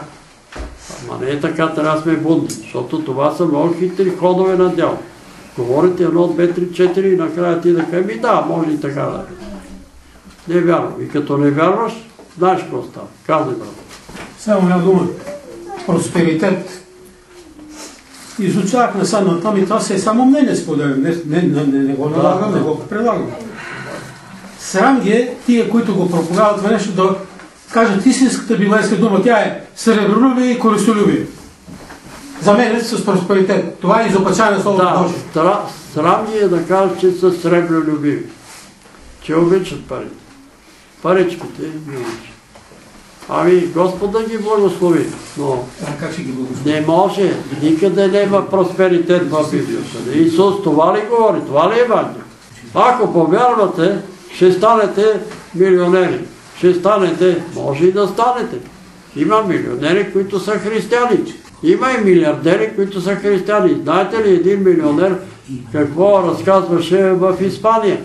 Вика, аз съм милионер. Обаче започнах да раздавам от милионите. Отивам, вика при някой сиромах, клошар или някакъв такъв, И му хвърля една пачка пари. Вика, абе, тук нещо си си загубил, вика и той. Ха! А това вика, ма, какво е това? Ти си си го загубил. И да при друг някой. И, и знаете ли, знаете ли, вика, каква радост ме изпълва, когато раздавам на, на тия сиромаси, като раздавам, раздавам и мен ме изпълва радост. А той е милионер и намира начин да раздаде част от богатствата да ги раздаде. Ама другия милионер казва, не мога да раздам аз толкова, защото до година трябва още толкова. И сега Джон Остин го слушам, нали, неговата жена беше и царена от Тарак, на белия троп, ако не се лъжа. Нали, слушал съм свидетелството, как той се е молил за нея и е казал, а тя се препираше, ми аз чух Божия глас, че Господ ми каза, ти си изцелен. Абе не, жено, бе, аз ти казах, че си изцелен. Абе не, бе, аз чух Божия глас. Ти мога да си казала, но аз чух Христовия глас, че ми каза, ти си изцелен. Но важно е, че е изцелена. И той каза, скъпи брати и сестри, тази година събрахме 1 милион долара. До година, следващата, не, миналата година събрахме 1 милион долара. Сега сме си поставили задача да събереме 4 милиона. И може ли да имам амин? И цялата църква. Амин! И всички тия, които казаха амин, се вързаха да съберат 4 милиона. И Остин умря и не можа да събере 4 милиона. Какво е това? Така ли е казал апостол Павел? Сега събрахме 1 милион, ама до година да събереме 4 милиона. Така ли е казал някой от апостолите? Послушайте ми го като пример. Еми, това просперитет, моля ви се, много хора си загубиха душите си това просперитет. Димчо е свидетел за Валентина, загуби си душата с това просперитет. Давам тия пари на Георги Бакалов да обиколят Вселената и да се върнат десетократно при мен. Е, какво даваш? Даваш да се върне при тебе. Нека да се върне. Така, имате думата. Ако някой иска, върху прочетеното слово. Кажи, брат. Извинявай. Искам да ви кажа... Тръгва. Бог да ви благослови. Довиждане. Бог да ви благослови. Да сте живи и здрави. Айде да се помолим за тях. Айде да се помолим всички. Ела тук си. Авел съм го кръстил. Господи, молиме Ти за това детенце. Да го благословиш. Амин. Да го помилваш. Амин. Да го направиш твой служител. Амин. Да го помажеш с Святия Дух. Амин. Господи, пастирите казват не може, децата не разбират. Но аз знам, че може. Защото Йоанн Кръстител беше изпълнен с Святия Дух от отровата на майка си. Амин. Нека това детенце да бъде изпълнено с Божия Дух. Амин. Това да го интересува. Да го интересува Небесното Царство. Направи го Твой служител. Направи го, Господи, да изобличава лицемерието, да изобличава тия, които считат, че със своята себеправедност ще влезат в Небесното Царство. Моля те да го пазиш от лукавия, Амин. да го пазиш от лоши приятели, Амин. да го пазиш от антихристи, Амин. от магиостици, от сатанисти. Амин. Бронирай го. Силен ангел прати при него да го пази. Моля те и за баща му, Господи, ръководи го и пази го. И майка му, ела по си. И майка му благослови. Това семейство да бъде свято семейство. Техният дом да бъде свят дом. Техният дом да стане църква. Алелуя. Храмове на Святия Дух. Слава да бъде името Ти. В Твоите ръце ги оставяме. Пази ги по пътищата да се приберат живи и здрави от дома. Свързвай ги с благословени човеци. Амин. Амин. Казвай. Излетя една бяла птичка. Така.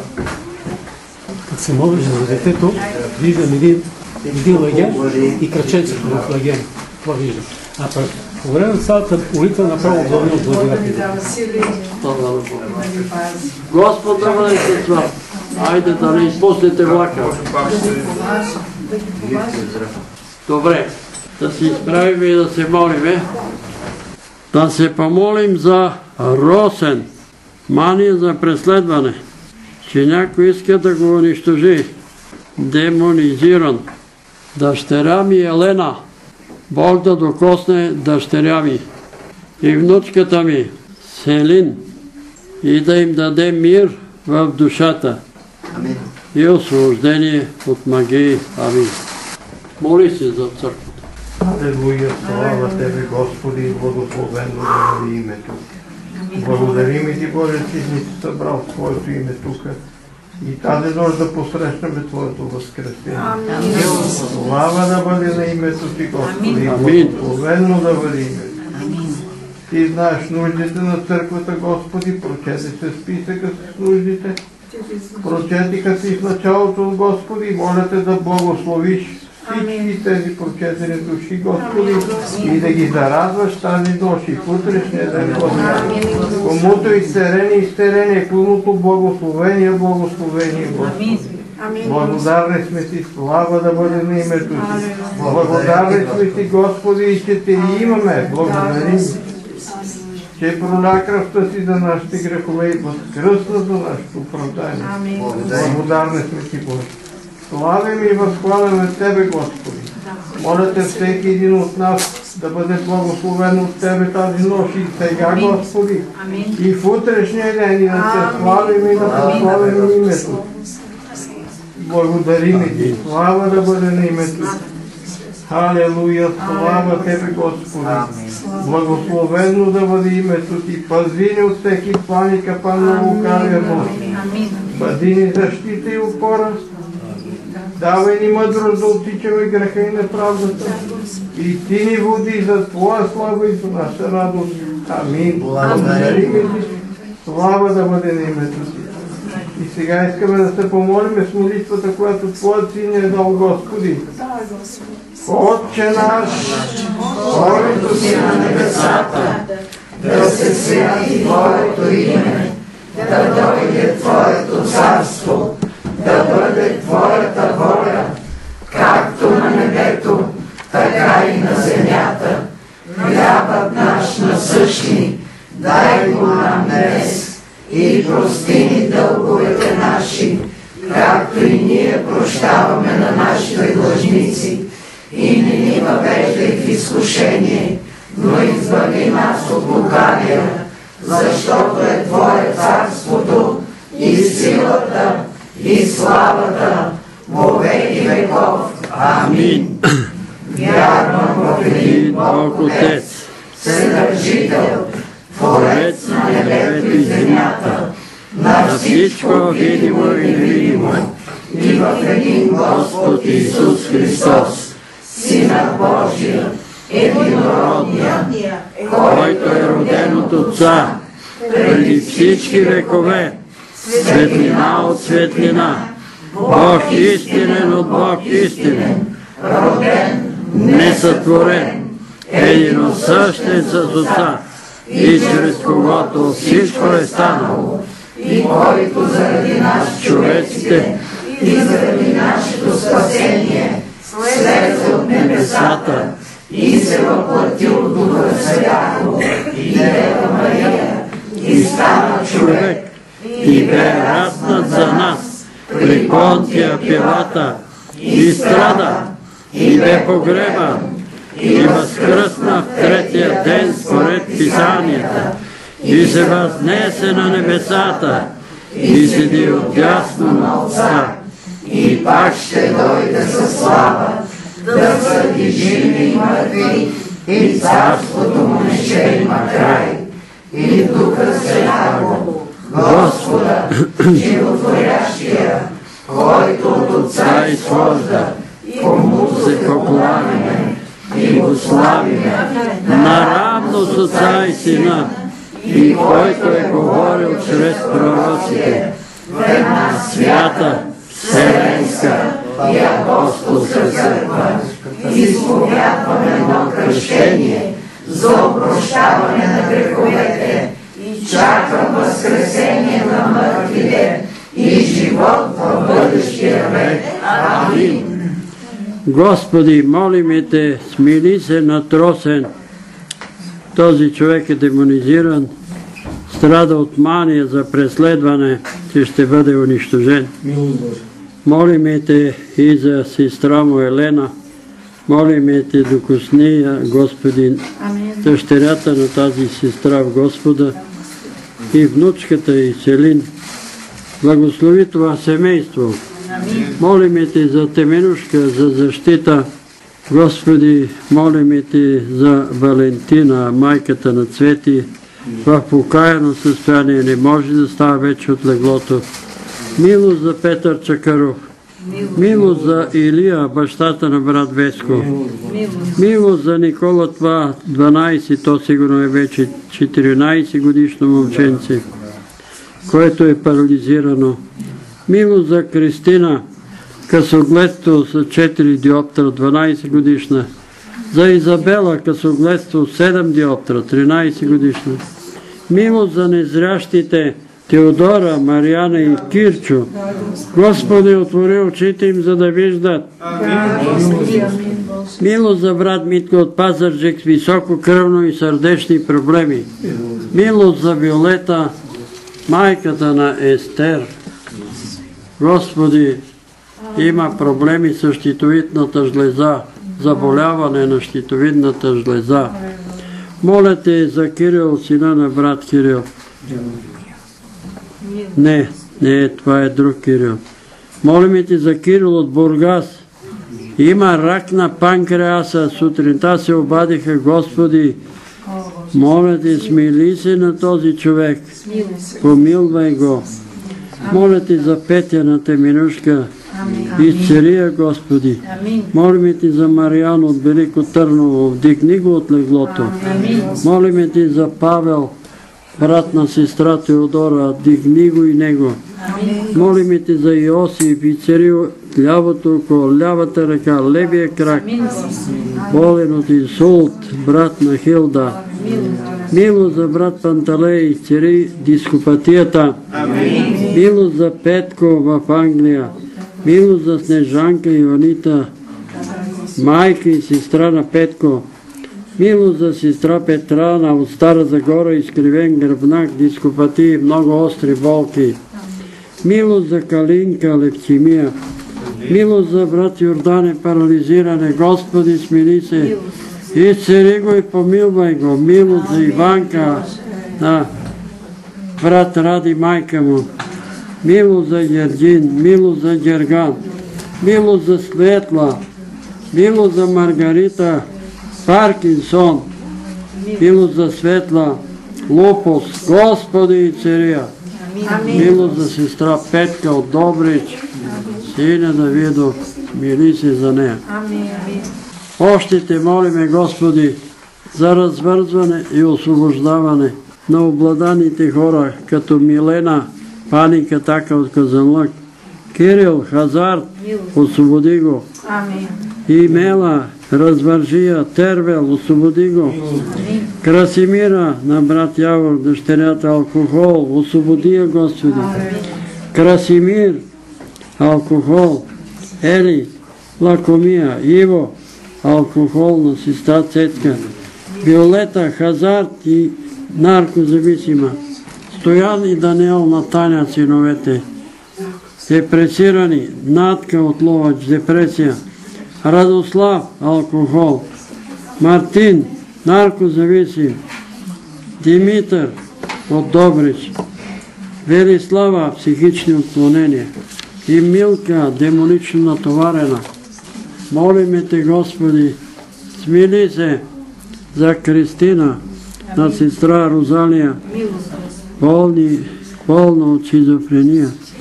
Молиме те за Людмил също. Иска да самоубива.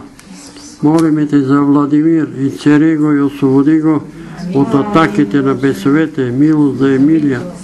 Шизофрения. Милост за Кристина. Шизофрения на Теменушка. Милост за Неделин. Шизофрения. Милост за Атанас от Ямбол. Шизофрения. Милост за Любомила. Милост за Анелия. Страх. Дух на страх. Милост за Александра на Богинка, дух на страх, милост за Иван, милост за величка шизофрения от Бургас.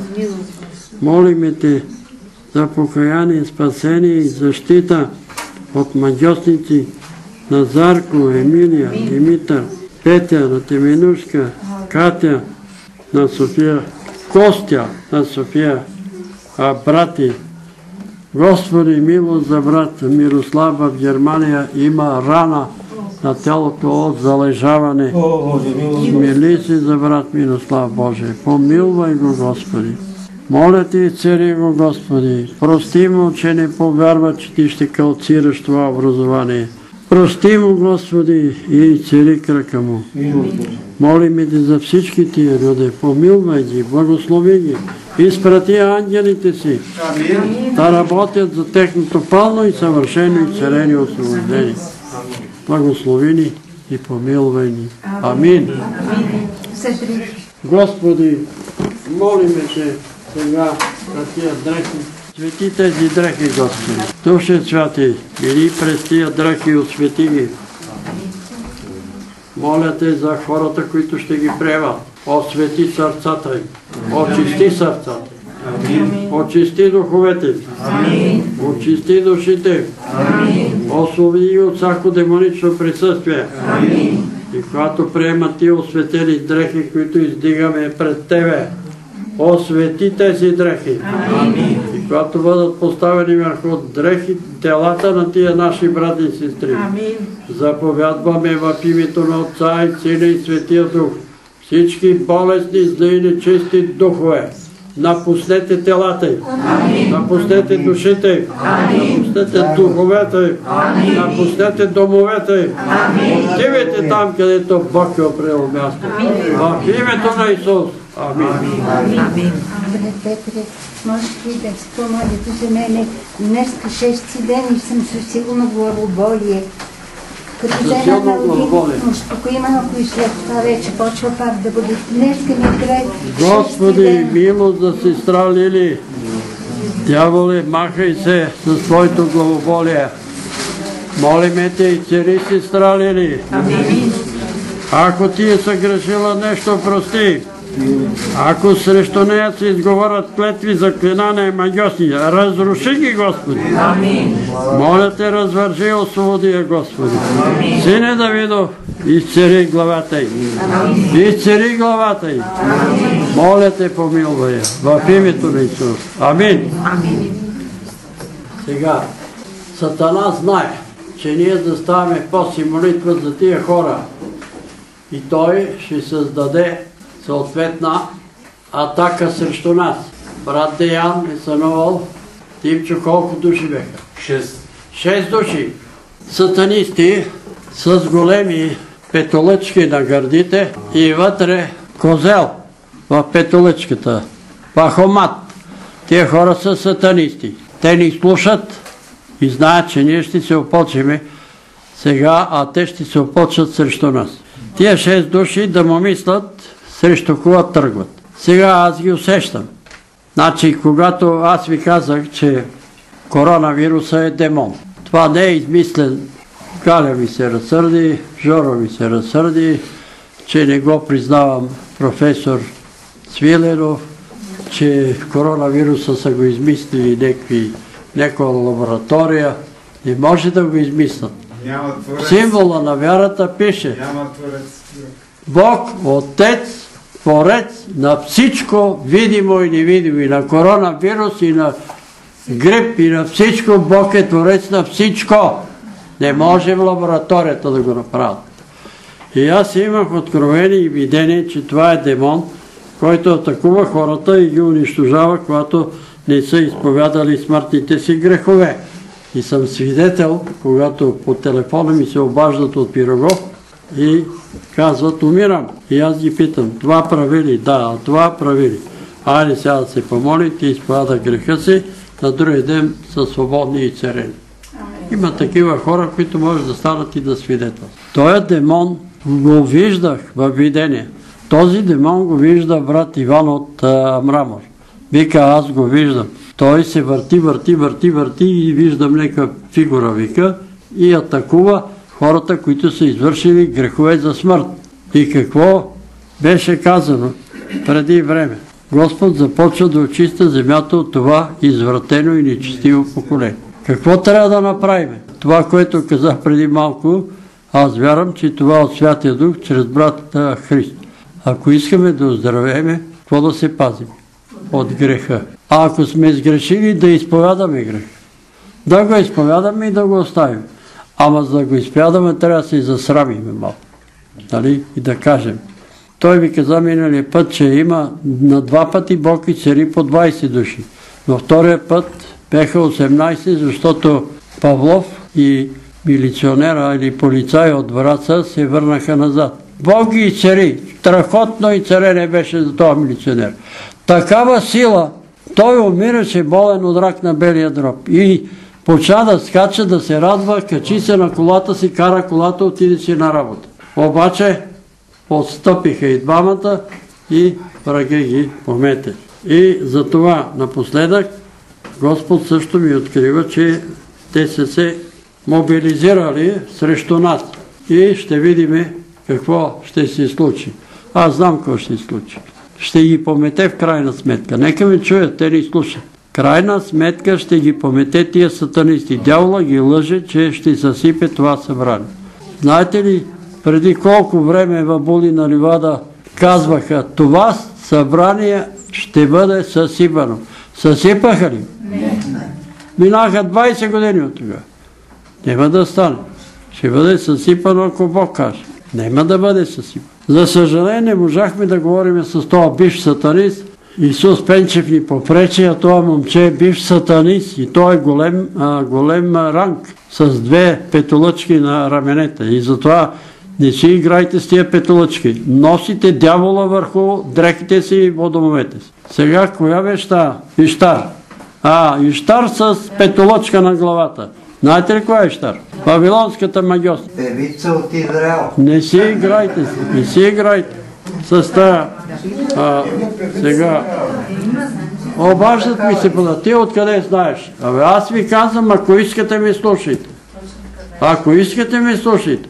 С тия петолъчки дявола е в дома ви и той седи там и ви казва, съм на почи тук. Това няма значение. Има големо значение. Аз съм на почет. Вижте това Карбовски, ако гледате неговото предаване, ще видите, че той ги показва там петлочките на предаванията си върху главите на магиосниците и на сатанистите. И затова усещам го този демон. Три-четири пъти идва вечерно време.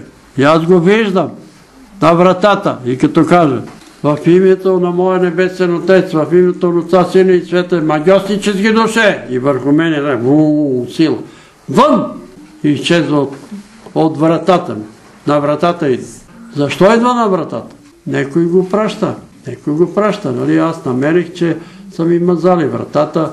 Звънеца са го мазали, така да пипне некой. Ма те са глупави, че аз няма да си пипна никога да си извъна на звънеца. Аз няма да си звъна на звънеца. Некой друг ще пипне. Но правят го. Правят го сатанисти. Чуйте ме.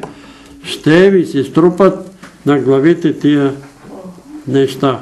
И за това сега, като се молиме, молете се за тия хора, които са в пост. Молете се Господ да ги държи. Молете се за тия, които са болни по списъците. Но също няма да ги казваме тия имената им, за да не чуят тия антихристи. Да не почват да, се настройват срещу тях. Но се молете, Господи, хората, които са застанали в пост. Молята да ги облечеш във власт и сила, да ги пазиш, да ги ръководиш, да ги употребяваш. Защото вярваме, че вършиме Твоята воля и че това е откровение. Аз съм 100% сигурен, че Бог го иска това. Да се мобилизираме, а не да спим.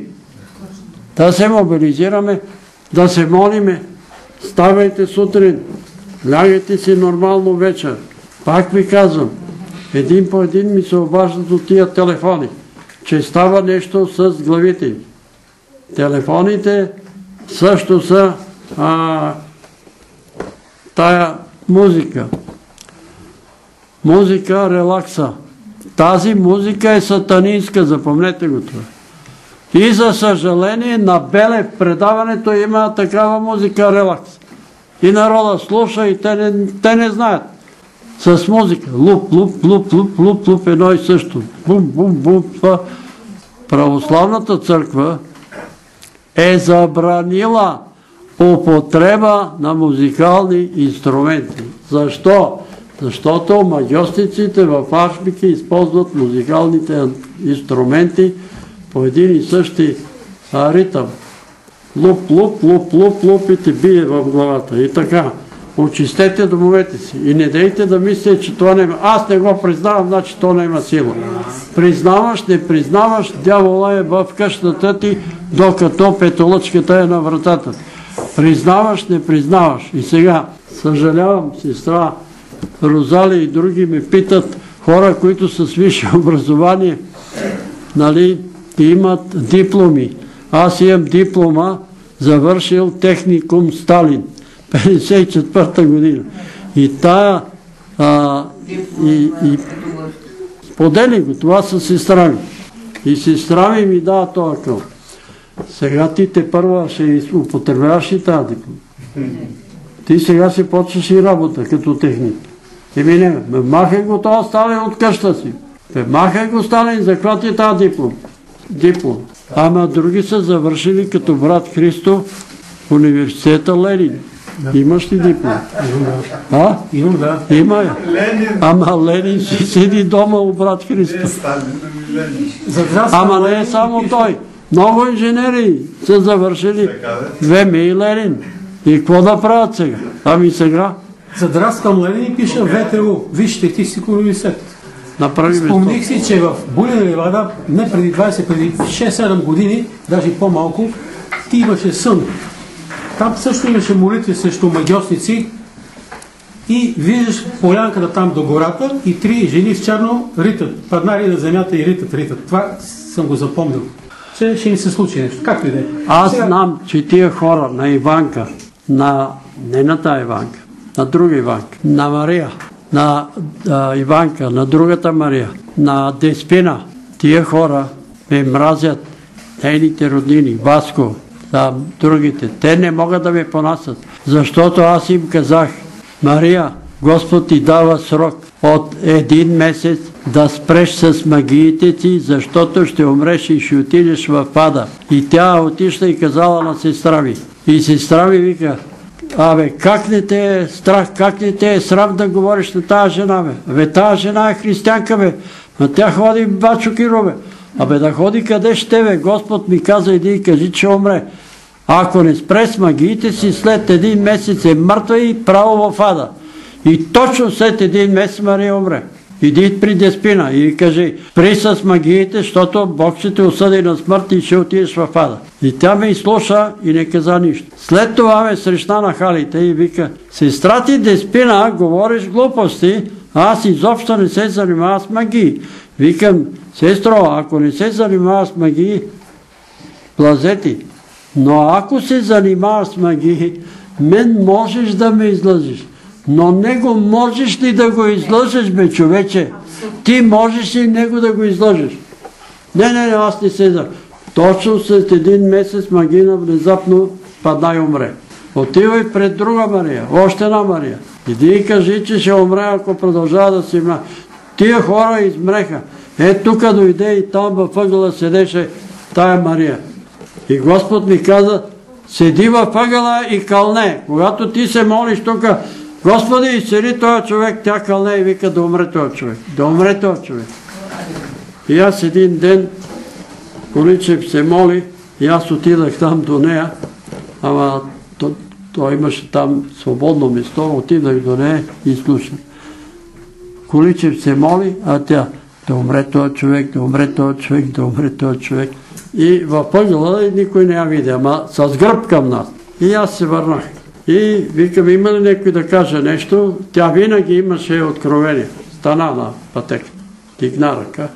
И аз си казвам, преди да кажеш откровенията, питам те Божието име.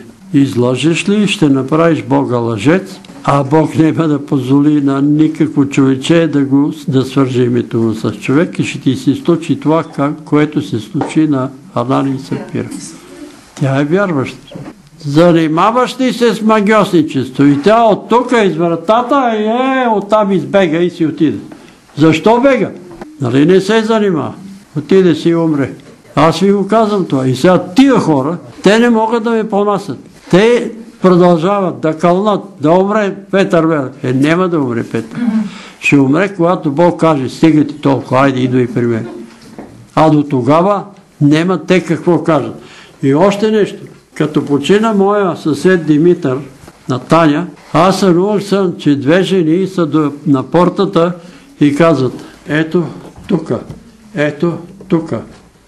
А Димитър идваше, аз го казах долу. Димитър, аз бех му казал, така се отваря това катинарчето, там нали има някакви цифри, влиза и си бери трева за кокошките. Те са поляли там аз да умра на това, на, на портата. А Димитър е влизал и си е прал. И него са го нападнали тия бесове. И човека си почина. И тия убийци, Господ ще ги съди в съдния ден. Защото мен не ме хваща тая магия. И аз съм ви казал и съм писал. Отивам на село и имам едни галоши, вътре напълнени с кучешки изпържения. Е това какво е? Това кой го направи? Отивам на село и викам на Димчо, дай ми фанелата. А викам, кой ми е служил фанелата на леглото? Аз никога не слагам по леглото, това на леглото си. Димчо взима фанела, оп, и спадна едно яйце. Е, какво прави твоя яйце в панелата? Какво прави? Държат го 48 часа в гробищата и ми го сложат там в панелата, аз да умра. Еми, нема да умра. Ще умре той, дето го е правил. Той, дето го е правил. И пак, и миналата година, 5-6 яйца намерих, тук яйце, там яйце, накрепено яйце. Ми правете какво искате. Но ето аз ви казвам, че тия хора, те са озлобени и занапред ще бъдат озлобени. И сега ще станат сатанисти, ще се закълнат пред дявола и ще им каже дявол, дай сега тия да ги изтърбиме там на Солунска, ама няма да стане. Те ще загинат. Те, защото така казва Словото Божие. Божието Слово казва, който копае яма сам ще падне в нея. Това е Божие Слово. Който копае яма сам ще падне в нея. Магиосник, който се занимава и кълне това събрание, ще се върнат магиите над главата му. За съжаление, аз усещам, че тия неща се отправят и до Димчо, защото ние ги изобличаваме, ходиме по домовете, казваме и свърлете, очистете си домовете. Аз пак ви казвам, още намирам дома, още книги намирам, които са за изхвърляне. Отворя и вътре, като почна да чета, а е писана от християни. От християни. От днешни такива пастири. И са загорени. Неща, които не са библейски. Сега този Красимир Мирчев ми беше. Неква книга ми е пратил, подарил вие. Аз си отварям праща ми тия книги по една моя, на моя първа братовчетка дъщеря и отварям и почвам да чета. Господи, ти трябва това да направиш, ти това трябва, ти това трябва. Абе, кой си ти да учиш Бога, какво да прави, бе, момче? Ама тия молитви, ама къде ги тия пастири сега? Росинов, 50-та църква, става някой да се моли, и почва. Моли се и казва това, това, това, това. След него става друг. И казва, Господи, това не е така. Господи, това е така. И накрая Русинов казва, абе, къде сте тръгнали да учите Бога, бе? Абе, това молитви ли са, бе? Господи, това не е така, е така. Ма ти ли се кажеш на Бога кой как е?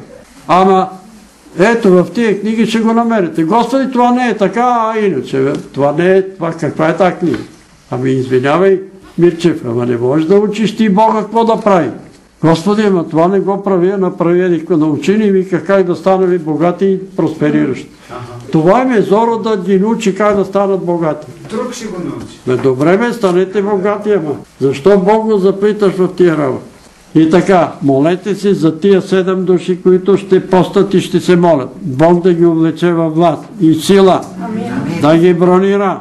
И аз знам, че когато Бог те бронира, хиляди хора да стрелят и да викат и да крещат, няма да те докоснат. Няма да те докоснат. Няма, защото аз съм го изживял. Хора, които са ме преследвали, няма ги. Които са се радвали, че са ме провалили, няма ги, отидах. Няма ги. Аз съжалявам за тях. Един го прегази влака, друг не знам кому стана катастрофира, трети нали, инфаркт, четвърти инсулт и така и си отидаха тия хора, дето искаха да умра. Ама ето аз не умирам. Не умирам. А като ме видят тия, дето са ме хранили с отрови, бегат по тротуара. Бегат, без да никой не ги гони. Чакай бе, чакай да се видиме. Давай, брат Христо. Накратко, в началото на молитвите почна да изреждаш хора, тези, които са май списък. По списъка. Този, този. И не мога да имена да кажа, но виждам, брат Петър, пред мен е една поляна вляво, а вдясно в дъното а, борова гора с бели стебла. Белия бор ми се, че е така. Една такава поляна, в, обаче времето е едно такова сумрачно, като сумрак над гора да. и над поляната. Това виждам, това казвам. Брат Пантелей тук ли е? Не. Май Ники. Беше тук по едно Не, не пише се. Не, за него. Да. И последно, когато говореше за духа на страх, виждам така като в един ъгъл, един биволиците са големи, ама биволски бик е по-голям. Те да. са едни такива криви рога. Криви рога. Е такъв един биволски черен. Ами, а, Снежана тук ли?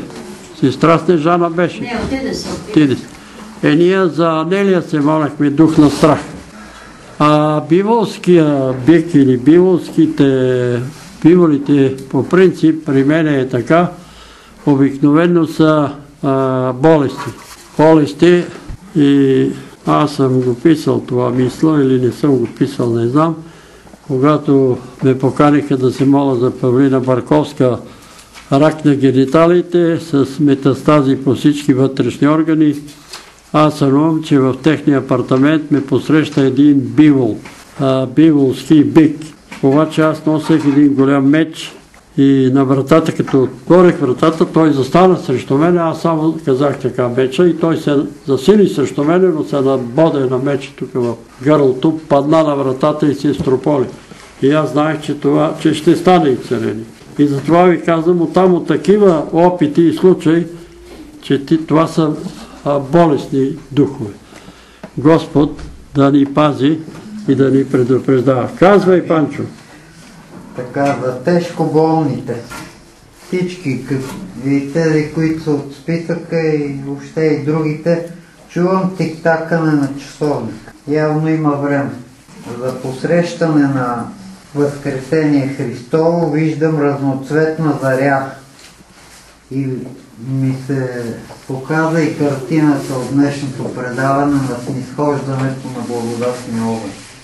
Беше голяма радост и голяма сила. И доста бързо слезе огъня, между другото. Те обикаляха колоклията няколко пъти, седем пъти и после като влезе патриарха доста бързо, 14.54 слезе. За Мирослав Значи виждаме едно средно голямо шарено куче, което лая, ама жестоко лая. Просто е като обладано. За дрехите. Значи виждам едни изпрани дрехи, простряни на простор. Дрехите да си изпереме първо нашите дрехи, да ги очистим и да се пазим от всякаква нечистота когато да, да се молиме за тези, които постят, виждам смяна на гвардейски караул. Гвардейците са, знаете кои, това са ротата на президента, на царя, най-близките до царя и Господ иска тия хора, които постят, фактически са най-близките му войници. Гвардейците, това са тия, които постят и се молят. Има много неща. Напоследък имаше много за поста по православната телевизия на различни свети за поста. Поста не е само глад, да не ядеме нали, храна, но поста е въздържание от всичко, смирение, да вършим Божията воля, когато не ни е много приятно да изпълняваме, да се насилиме, да ставаме, да се молиме. Една сестра се оплакваше и казва, не мога. Ами като не можеш, ще патиш. Не мога, не мога да постя. Не мога, но ще се насилиме. Лъже ни дявол, че не можем. Лъже, че не можем да постим. Това е много голема лъжа. Ами аз съм немощен. Какво като си немощен? Като постиш ще станеш силен. Немощта оттам ще се махне. Немощен дух.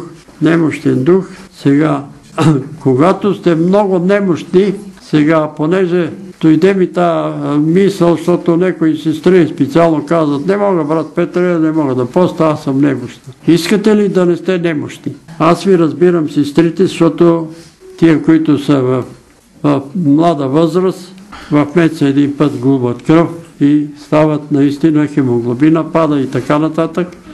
Но ако искате да бъдете, да се махне немощта, немощта се маха с молитва и освобождение. Брат Цецов, нали, така да ми прости, че му кръстили сме го йогата, защото некой е бил йога, дойде и казва, много съм немощен.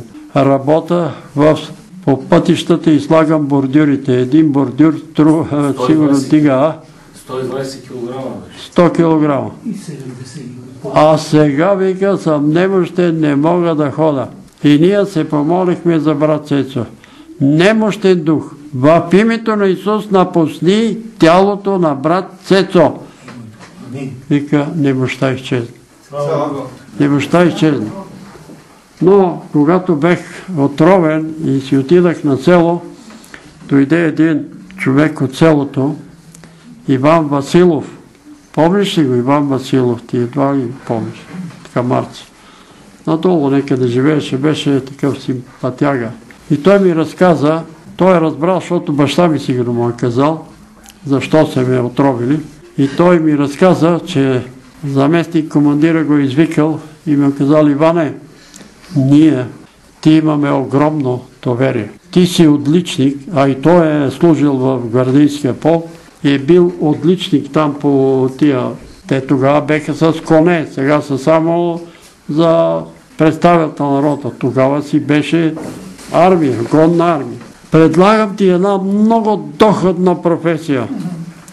Ще те изпратим в Съветския съюз да учиш за разузнавач. А той казал, другаро командир, имате ли брат? Имам. Прати брат ти да учи тая доход. И той казал, вън, простак такъв, вън, ние му предлагаме да стане човека той. И вика, Петре, отровиха ме. Искаха да ме убият. Обаче, знаеш ли какво направих аз? Един добър човек ми даде съвет. Направи го и ти. Аз точно тогава не можех да хода. Бех отичал на село, бех отекал. Купувай си телешко месо. Чуйте го и вие. Когато искате да се засилите. Нарежи го на малки парчета. Добри, добри, добри. И пи от парата. Месото го изхвърли. Пи от парата от телешко месо и ще видиш какво ще се случи. И аз започнах. И наистина започнах да се усещам, че нещо става. Така че за всеко нещо си има нали, лек и болка. Сега не ви казвам от утре да почнете да ядете пържоли нали, и телешко, но хапайте си след великденските пости, може да хапнете и агнешко и телешко. Няма проблем. Добре, да се изправиме и да завършим. Мога да кажа нещо. Кажи. В поста се иска воля. Това е. Имайте предвид, че той, който е описал поста, вижда, че това е лъжа, че ще умреш, ако постиш. Напротив, ще видиш, че се очистиш. Е, може малко да дойде, нали, така, немощ. Ама, опитайте и ще видите. Ще видите, че не е толкова страшен поста. Пост и молитва за всяка болест. Добре. И сега, благодата на нашия Господ Исус Христос, любовта на Бога Отца, общението и ръководството на Святия Божий Дух да бъде с всички нас. С домовете ни, с родовете ми, с църквата на Господ Исус Христос на това място, в цяла София, в цяла България. И по целия свят, от сега и до века. Амин. Весело посрещане на Възкресение Христово.